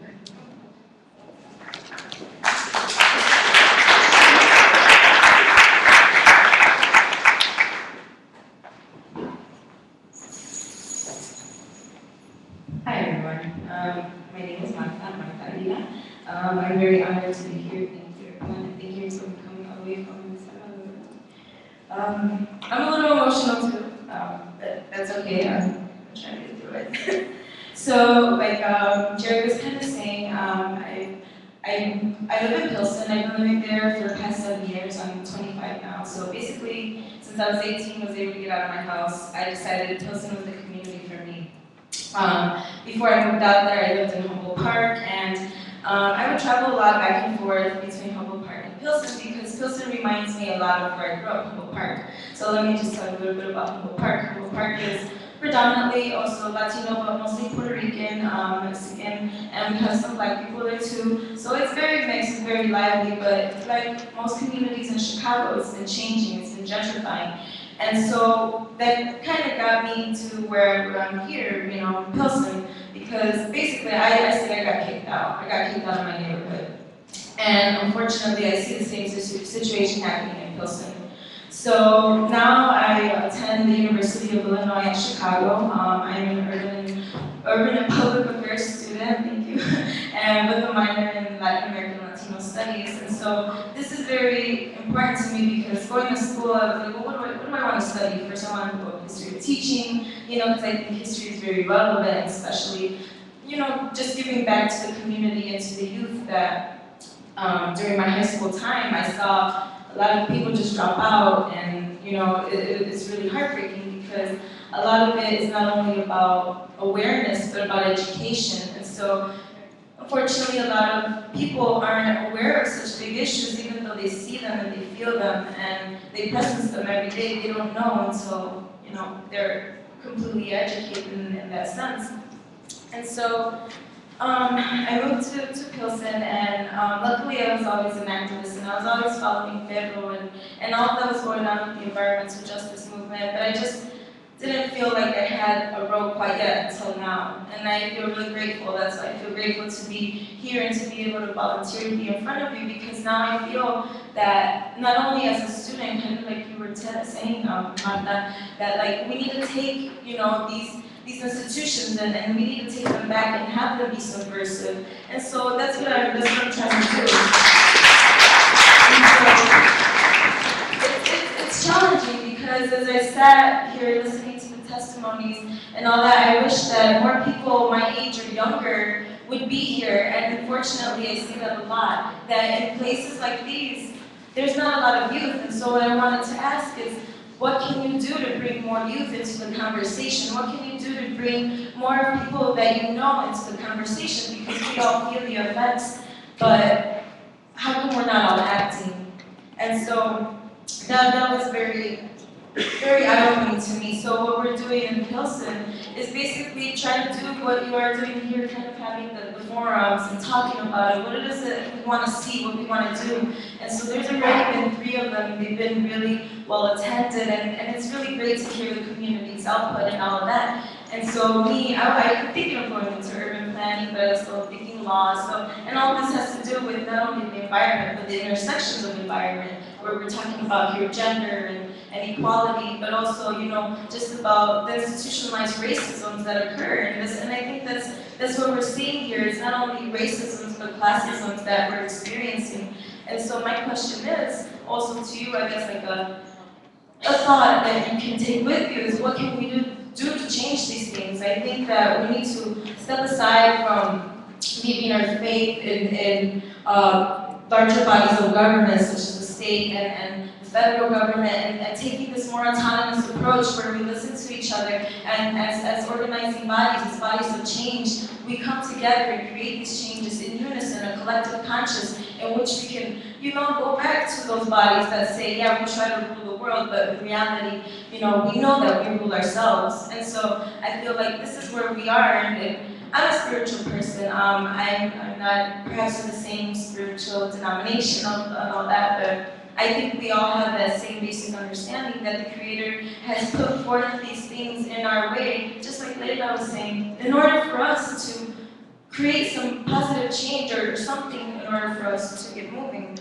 And so I have some suggestions, like I think um, we can definitely start to understand the zoning laws within our own districts or cities and stuff like that because there's no reason why a coal plant should be almost directly across the street from a school. That's the situation with the Fisk plant. It's, it's basically down the block from the school. And, you know, a lot of what happens that we, we, we don't question these things. And so me moving to Pilsen, when I leave my door every day, I'm faced with the sight to my left of seeing the, the coal plant just spewing these, these horrendous clouds of, of coal ash, and it's, it's scary, and it's scarier now, now that I know that it's in Joliet, and, and it's like, it's here, it's with us. So, I would say, look at the zoning laws, look at the municipal things, so some of them are federal in, in nature, but also they're, they're local in nature, and we, we can do that, a lot of you have done that, and I'm really, I'm really happy to see that. So, um, and also voice, I think that there's something more than voting that we can do for voice. I feel like, again, like these things, these forums, and then just talking to each other are really good because, you know, voting is very powerful, but what about the felons? What about the youth? What about the immigrants who are not allowed to vote and have a say? I, I, I think that's not fair. I think that if we're all affected, especially in the environmental context that we're in today, right now, um, we should all have a voice. We should all have a say. And so, um, let's see.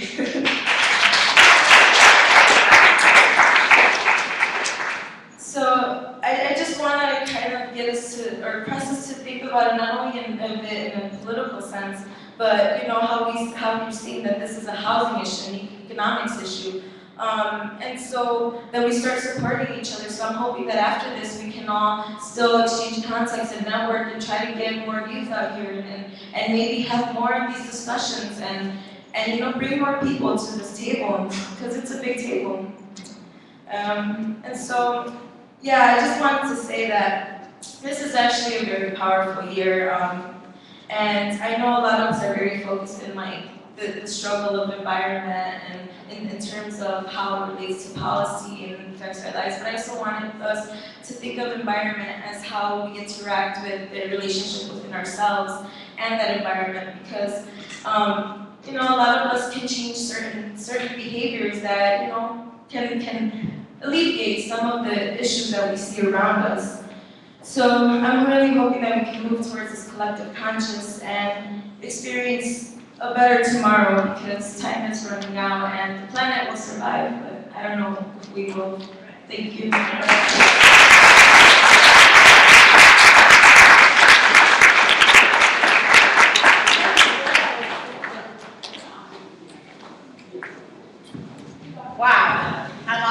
Those testimonies and, and uh, darn near speechless, which doesn't happen to us like meeting.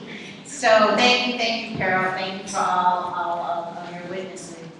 Um, I'd like to suggest a little bit of a change in, in order here. First, first, I would like to see if the jurors have questions of the last of witnesses. And then after that, uh, we're going to move into uh, the looking forward remarks by Sally while the jurists have a chance to get their, their thoughts together, which I think would be a good thing. And then, and then we'll hear their recommendations before we move forward.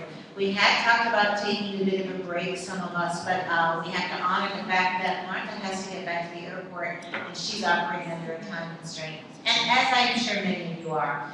So, uh, so I think we're nearing the end, and if it's okay, let's move directly into questions and possible recommendations you might have about this case, and then we'll hear from Sally, and then the jurists will, will, will end our, our time together by coming up with their bold recommendations for the future that will be taken to Rio. Questions, anybody?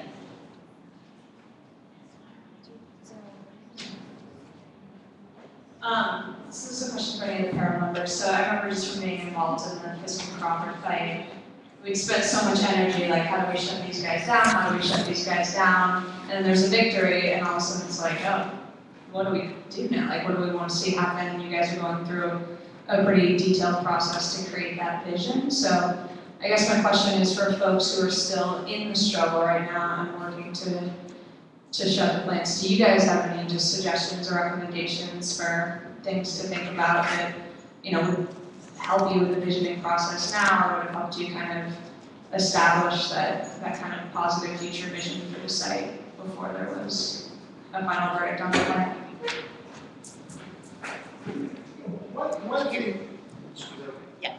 Um, one, one thing that, um, you know, was my big disappointment in, in our struggle in Chicago that I really wish we would have been able to overcome and that wasn't the lack of trying, we definitely tried, but we weren't able to overcome it. I think it would have, it would help the situation that we're in now better that had come here too, would have been to be able to open up a dialogue with the workers there, with the union there. Uh, I, I tried very hard to make that happen over many years, it never developed. Uh, it's now kind of happened in a sense because they put a, another person on the uh, task force that existed there. Although interestingly enough, they've been very, their representatives have been very silent, they haven't contributed much to the discussion.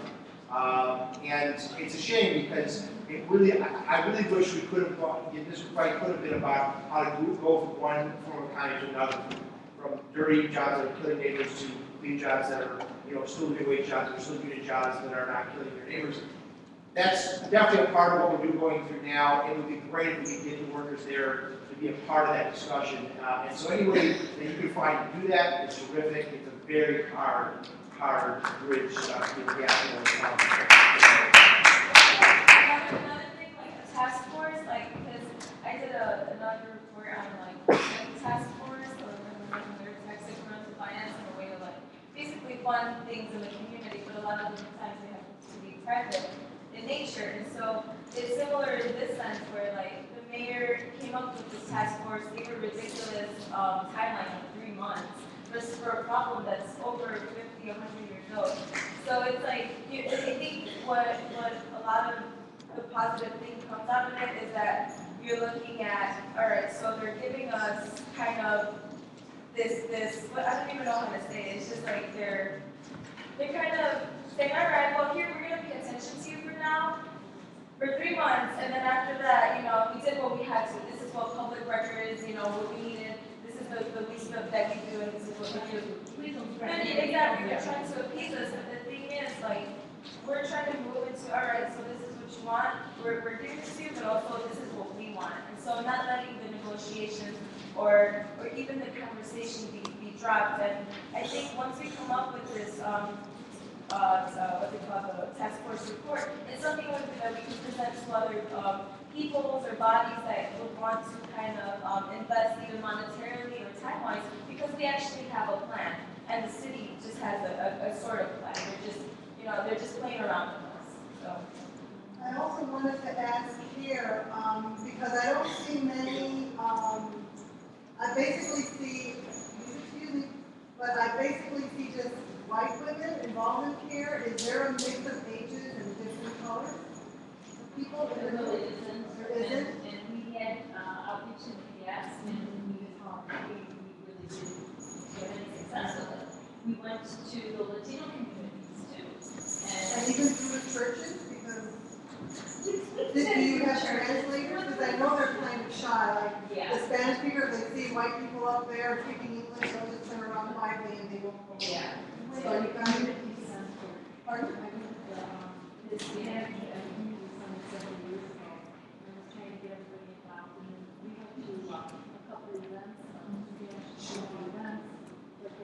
I guess if you can be one key brown person, that could literally go and open the doors, you know? Maybe could do that, key, key color people to get into that speak Spanish that are bilingual, that could befriend them and, them, this, we need you here, we're working for everyone. Because you do need numbers and you need to see, uh, people say that in general that it's all white, it isn't. But that's what they say, but federal is a mix, you saw that, I mean. Right. It is a mix of ages also, and that's very important, and, and So if you can find some key people. Really? Wow, keep on. Yeah, yeah, yeah. The more likely to get a response, because when you're in a culture, you're coming from a culture, where women are taught not to speak out. It's very hard to go against the stream. Your husband may also who are not going. Because he's fearful of his job and what others will think. Brown and black people and the red people are the first people let go. And in this economy, if you've got a job, God bless you. Because So maybe if you took the ones that witnessed and told their personal stories too, because you've gone to the University of Illinois and done that. And that's how we got the intern we have, the intern came in and got volunteers. The forums that we've had, that has brought in a lot of more volunteers also, having the forums, she's one of them. So if you have forums throughout the community, that would probably be a good way for you to also get more people information. If, if I may, if, if, if you don't mind, um, I, I think there's a perfect connection between the discussion that's going on right now and the piece of the program that has my name next to it, which is called Looking Forward. Um, Rosa uh, just said to me, she said, you know, this is sort of where the tribunal ends, and now the, the what is the community going to, going to do with this, and where will the community take it, begins. So, we, and, and we still have not heard from our panel of jurists. Um, so in the interest of time, what, what I would like to do is, um, is give a very quick wrap up. Uh, I will reiterate what has already been said here, and that is that the results of this tribunal, along with the results of the tribunal that we conducted one month ago today uh, with our friends in West Virginia, and from there we have people from Kentucky, Tennessee, North Carolina, Virginia, and West Virginia. The results of both of these tribunals will be presented at this UN Global Conference on Sustainable Development in Rio de Janeiro later on this month. Um, tribunals here in the United States, as well as the tribunals that Rosa mentioned that the Feminist Task Force has been conducting all around the world, will be presented in an, uh, in an event where we will have an international panel of women making these presentations. One of our collaborators from West Virginia will accompany us to Rio. Uh, Marta Benavides will be on that panel, as will other women from Asia, Africa, and Latin America. So that is the most immediate, uh, forward-looking, what will be the next step after this tribunal from our viewpoint. What I wanted to do for you is um, to give you a sense of how very, very close the messages that we receive from you all parallel the messages we receive from our friends in Charleston, West Virginia. As I've been listening today to the testimony, I've jotted down two pages of things that, that just occurred to me in the moment were sometimes the very same thing we heard from a witness in West Virginia. And I'm just going to run through these kind of quickly while our jurists are kind of gathering their thoughts. Um, and I'm going to work from the most recent back. Marcia said we need more voices of young people. We certainly heard that very same thought expressed from our friends in West Virginia. Stephanie talked about receiving death threats. One of our witnesses in West Virginia spoke of receiving death threats. Um, Sandy, I believe it was, said, we are collateral damage and that's not capitalism. One of our um, uh, panelists, one of our jurists in West Virginia, a gentleman named Grant Smith, who is an, um, an energy poly policy expert. He spoke of studies which, which called the detrimental effects on human and environmental health, quote, externalities. Yes. So you all would be externalities if someone were to do an economic study here. Um, Someone spoke about um, worrying twenty-four seven about uh, explosions and what was called fugitive releases. I hadn't even heard that term before. But that reminded me of what I learned in West Virginia, that every week, cumulatively, the mountaintop removal explosions that take place in the state of West Virginia use the equivalent explosive power of one Hiroshima bomb. Every week. Someone said the power that the Romeoville plant produces isn't even consumed locally. Likewise, we learned in West Virginia that 50% of the coal extracted in West Virginia is exported internationally. It's the same thing. You are paying with your health to produce energy somewhere else in the world, and you are the collateral damage or the externality. And then the first one that I, that I started with uh, was something that Ellen said um, early in the day here. Uh, she said, the question is, what are these highly polluting coal processing plants doing in highly populated areas? Which reminded me of something that one of our witnesses in Appalachia said. I recall she said, you know, it's not that we choose to live where the mines are. It's that they are mining where we live. And one more that reminded me, I think it was Leila who said, often you get asked the question, well, why don't you just move? Why do you stay there? Our friends in uh, mountaintop areas or the mountain areas of Appalachia said that they get the same question.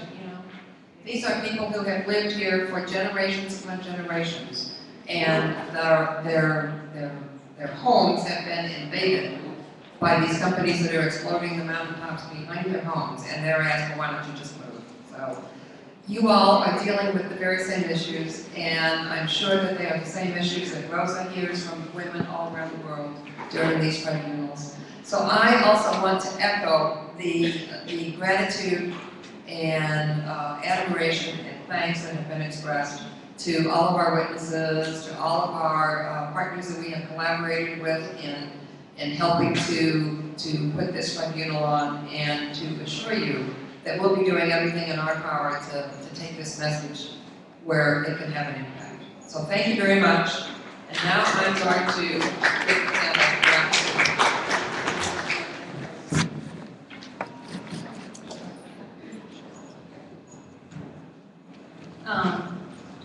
that was a tough couple of hours to follow. Um, so I'll do my best. I want to thank everyone again for their stories today.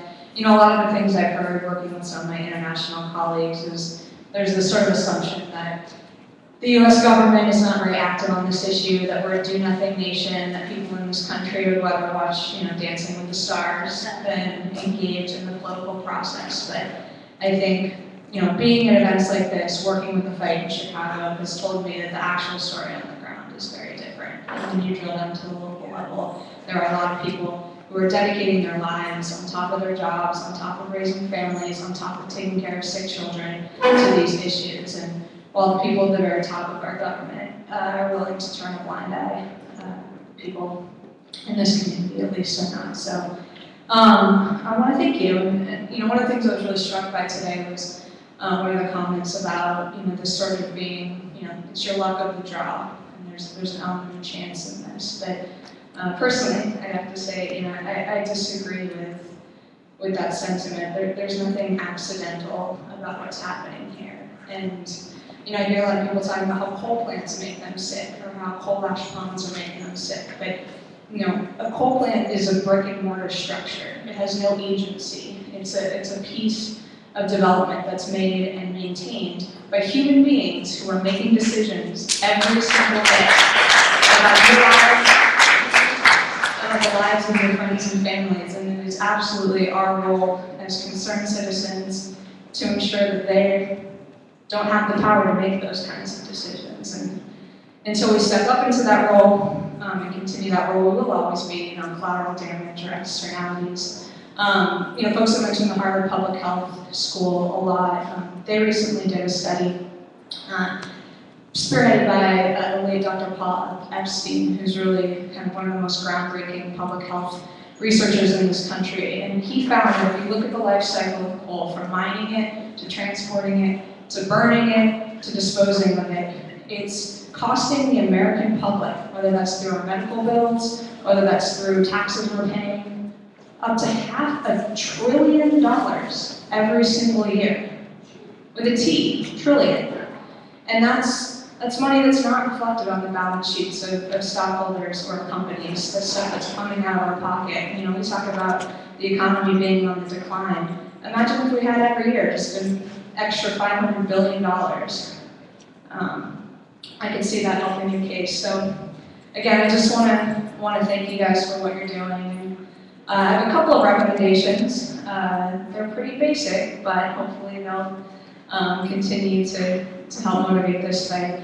I think the first is don't allow companies to paint themselves as victims in this fight. I've been to so many city council meetings and town council meetings where they sit up there and say, oh, know, just just trying to make a dollar and the EPA is on our back and people are on our back and these regulations are imposing a terrible burden on us. And I think confronting them at every single meeting and sharing their story and reminding them that if there are victims in this case, it is surely not the people making $9 million a year living in a mansion in California and deciding to take it. So, you know, stand up to that and we absolutely don't let that happen.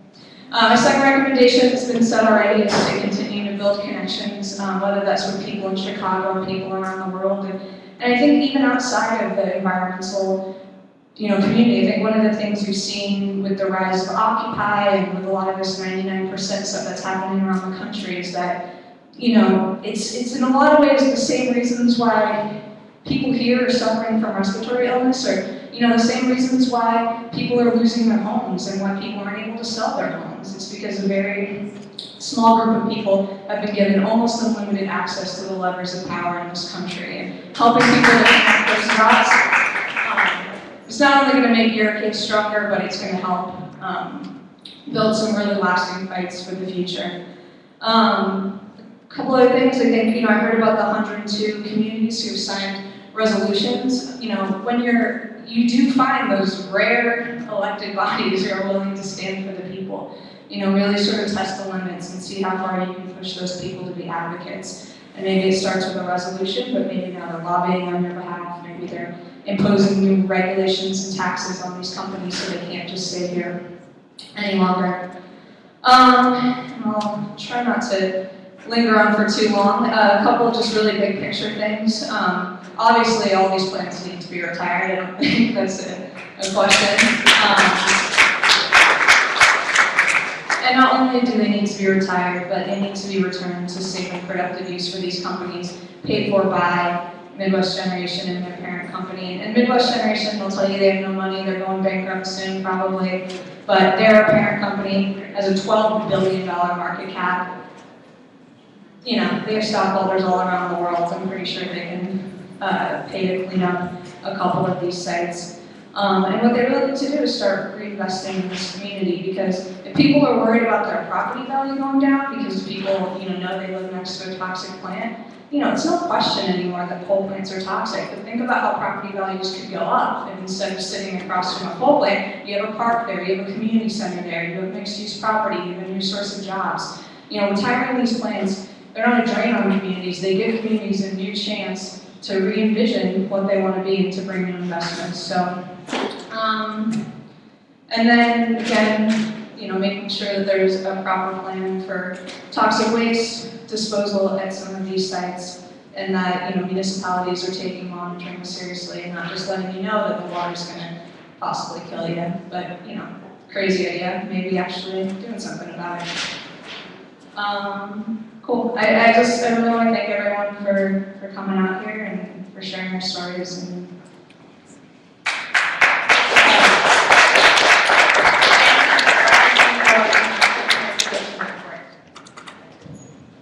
Um, gracias. You know, that word comes from. And so what we have experienced here is grace. because, you know, we share and we think together, unlike the modern life. That is a very spiritual thing. We are spirits that here incarnate. We are in the world, but we are not of the world, and that we should remember. And so I think that, you know, what we would do at home is that we would get together, a group of the people that are organized, and figure out how to bring you back again, and then to really brainstorm on how you are going to really do the work that you need to do, and how to be in connection with other peoples in the world. And I think that, you know, if you really want to, you know, the, the whole universe really conspires with you. And so I know that, uh, you know, like indigenous peoples are doing a lot, and they are doing the work of the doctrine of discovery. Because with the upcoming of the colonizers here, these ideas of extraction of people and of nature and land, you know, came up. And so we have to start really figuring out how do we live the life that we want to live? What kind of future do we want to have? So it's important to do this homework, but the real homework is here, and you have to really be mindful. For us in, you know, in, in the area from Mexico all the way to Patagonia, we think very differently. You know, like we don't call the Falkland Islands Falkland Islands, you know what the Falkland Islands are? You know, the, those islands are very close to Argentina. We call them the Malvinas, and they belong to us. And so we are taking that also to, to the United Nations, and we are pushing for renegotiations of those things. People are marching in Peru, lots of people, about these mining programs. In my country, people have been killed because of these situations that you are you, you have been discussing here. But you know, we're working a lot with the young people and with the communities and with the, bringing in the church and demanding the, the state university to really, really do the work that they have to do to prepare the people to do the kinds of accompaniment we call for social transformation. So, you know, like we hope that really you also see that our real north comes from the south. Our direction comes from the south. The south is all the people that are really suffering the same things that you are suffering. And we have to learn the history, but we also have to have fun. And so it was good to have Chuy singing here and talking about FLOC, because when I was a foreign student in this country, I had to, you know, march with FLOC and Cesar Chavez and Martin Luther King. And so we have to go and knock on the door for the people and bring the ones that are not involved yet, because you know, that is our wisdom and that is our possibility to bring everybody together so that we create community and convivencia. Convivencia is what we have here, living together the experiences so we can have common solutions. So I, I will take it with me and, you know, I will go and tell my people.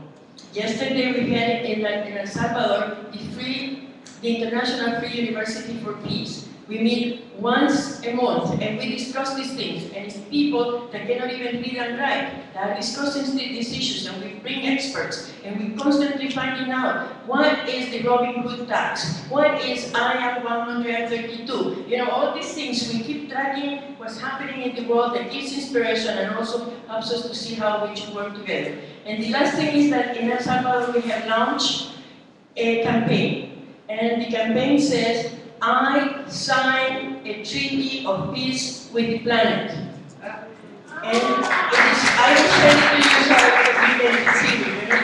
For the good of humanity, which is the common good, and for the good of the planet and nature, which is the global common good. And I signed a treaty of peace with life. So I will respect myself and live in harmony in my home and my community, and I will help to create the kind of world and future that we want. So this is the campaign that we have, and during the time that people are meeting in Rio, we are going to be having all kinds of experiences related to that. So just be creative as you are. So thank you very much. I'm sorry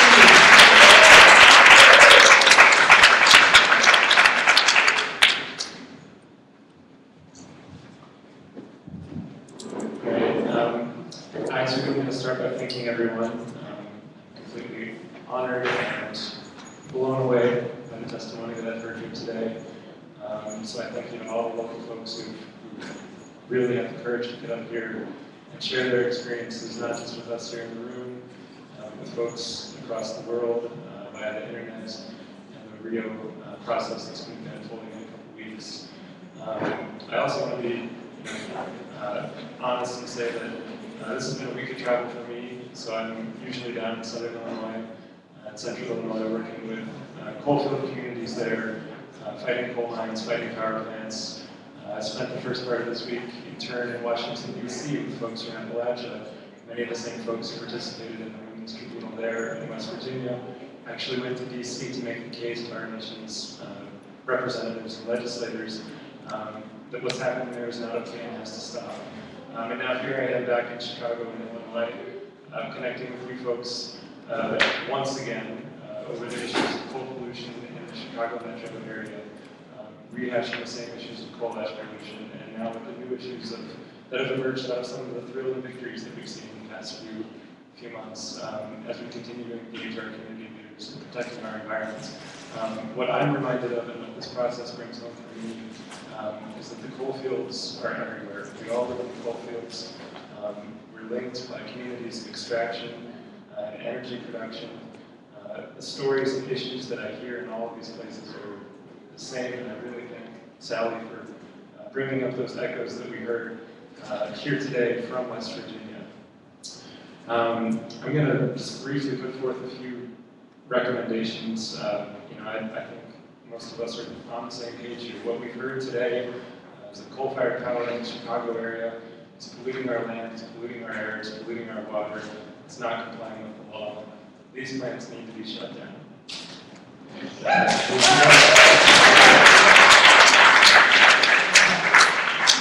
Second, um, you know, I think with the case of coal ash in particular, uh, it's, it's a bit of a unique situation in that um, when many of our environmental laws were passed, we did not uh, also get good protections uh, that set us up in this country to be able uh, to do what we need to do um, and really get a handle on this problem of coal ash pollution. Uh, you know, there's hundred, hundreds of millions of tons of this stuff being disposed of irresponsibly all over the country every year. Um, you know, whether it's in Joliet or in southern Illinois, uh, the issues are the same, the threats to health are the same, and the stories that I hear going through these communities are the same. Um, our government and all governments need to develop responsible rules and regulations to deal with this dangerous material. Um, and you know, to date, our, our government has not done that. Um, you know, we hope to join the rest of the world with that recognizes uh, coal ash as a dangerous substance and has you know, rules and regulations in place to make sure that it doesn't uh, contaminate communities and, and that folks surrounding sites aren't paying for it um, with their health and with their lives. Um, so, quite simply, we urge the U.S. government to, to adopt federally enforceable, strong rules and safeguards to protect folks like you.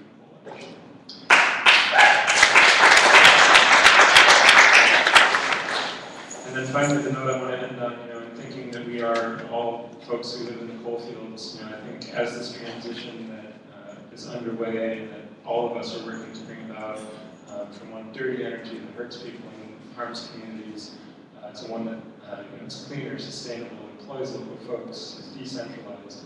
Um, as that transition is underway, uh, we all collectively need to be you know, working to ensure that there is a local voice that gets heard um, and actually you know, is making decisions about what that transition looks like. Um, so whether it's the redevelopment of Fisk and Crawford sites here in Chicago, um, or if it's you know the rehabbing of the strip mine in southern Illinois, or uh, where I'm from in Ohio, um, you know, these communities uh, have been devastated and continue to be devastated by the legacy impacts of coal pollution. Um, you know, they paid for it with their lives, as other people have said today. Uh, they need to be the ones in the driver's seat in determining what uh, their economic future looks like and what their uh, social space looks like, their physical environment, um, and really their where their energy is coming from. So the message that I, I hope we collectively can be sending to Rio is one of one of self-determination. Wake of these this transition is taking place, that that needs to be the guiding principle.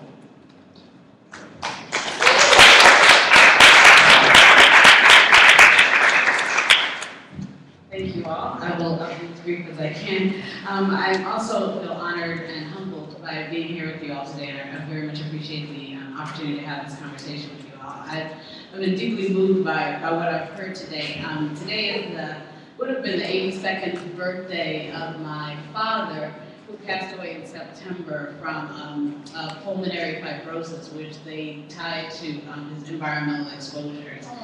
So particularly as I heard artists speaking, I was, you know, pretty pretty weepy at that point, um, just thinking about the, um, what she was describing in terms of the struggles to get to the bathroom and having to really psych himself up to go to the bathroom. I mean, I was there those last few weeks, um, with him and it was just, you know, just deeply heartbreaking. And, um, and, and, and just to know that, that his story is just one of many, many stories of, of the same thing, that these communities are disproportionately, um, suffering. And so, so again, it's an honor to be able to be a part of this movement, and I respect you all in your roles in the movement, and, um, and whatever I can do to support through my role with NAACP and engaging the NAACP branches around this is definitely what, um, what I'm devoting myself to doing. So again, just my- all my honor and my, my heart to you all in this work, because know, for me, it's, uh, it's now become a part of the legacy of my father, but, you know, just in terms of my level of commitment uh, to this work, so thank you all. So I'll, I'll again recognize that I'm 19 minutes past our closing time. I'll just be brief in going through my few recommendations here. Um, so one, um, just as Brian said, um, is to really to really uh, classify coal ash as toxic um, as, as a hazardous material would be something that I would recommend in terms of us putting forward to the EPA.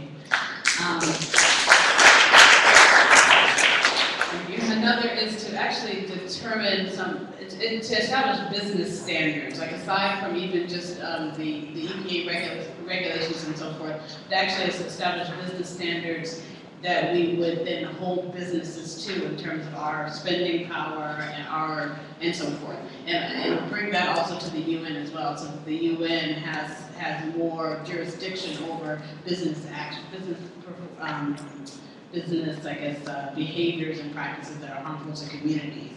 Um, so again, and really voting with, I mean, um, uh, enforcing it with our, with our spending, spending habits.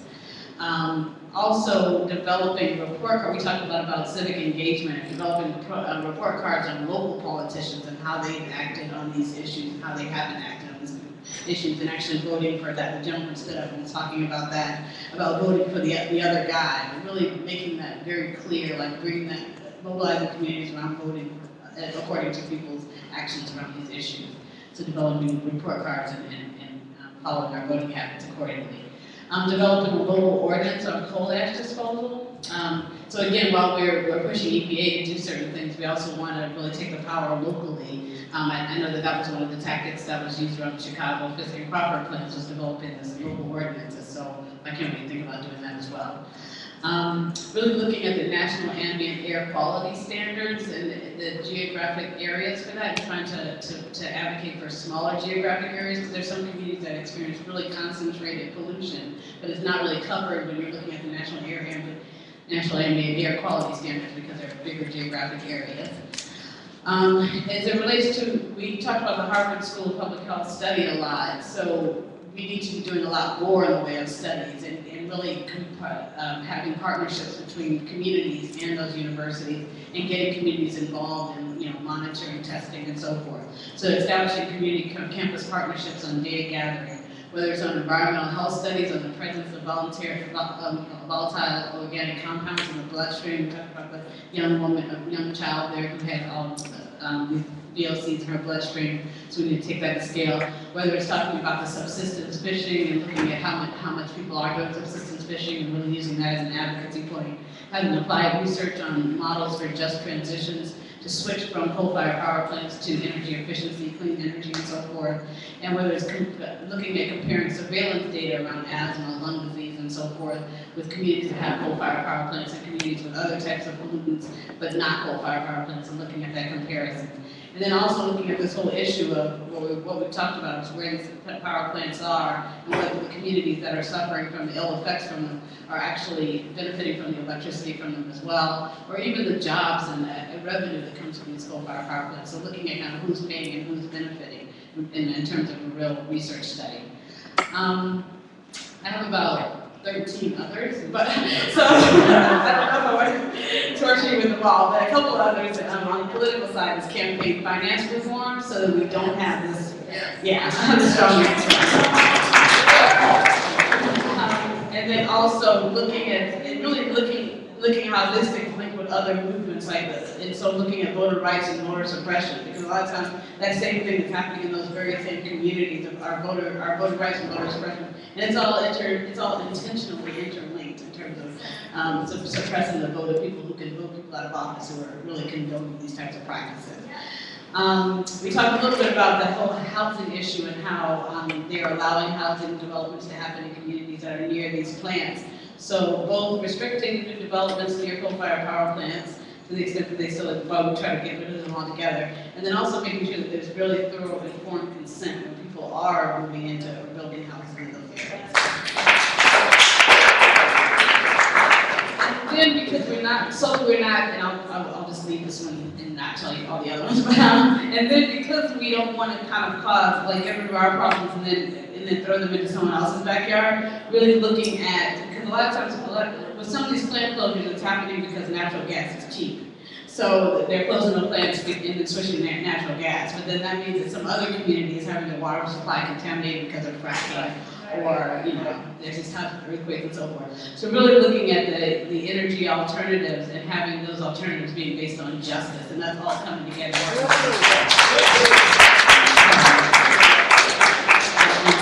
Unfortunately, bring this so thank you all again.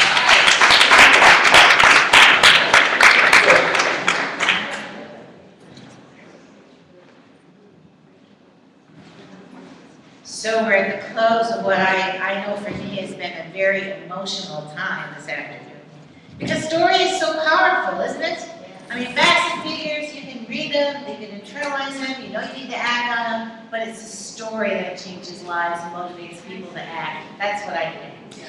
We have had shared experiences that have linked us together as a, as a community of folks here from Joliet, Chicago area. We've seen ourselves linking arms with women across the globe from, you know, West, the tribunal that happened in Appalachia, Appalachia in, in May to, to those that have been happening globally. And um, I want to say that, that uh, CARE and Eco-Justice Collaborative and our partners that are listed, Feminist Task Force, uh, Loretto Community, et cetera, will have recommendations that, that uh, have been put forth by, by the as part of this tribunal, summarized in a, in a couple-page document. We will get it out to you, posted on websites.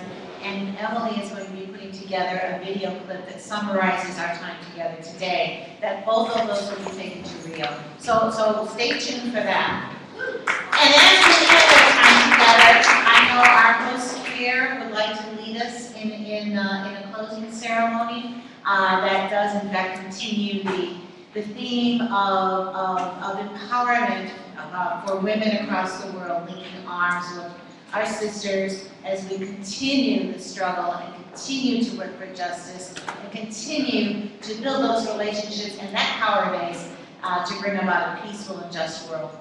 So our artist is Oh, just want to say something. Go ahead. Well, artist comes up. Just to put a plug in for young people, Emily was the glue to all this. She connected all the incarcerated, volunteer for the Loretto community, connecting everything. Thanks, Emily. Thank you.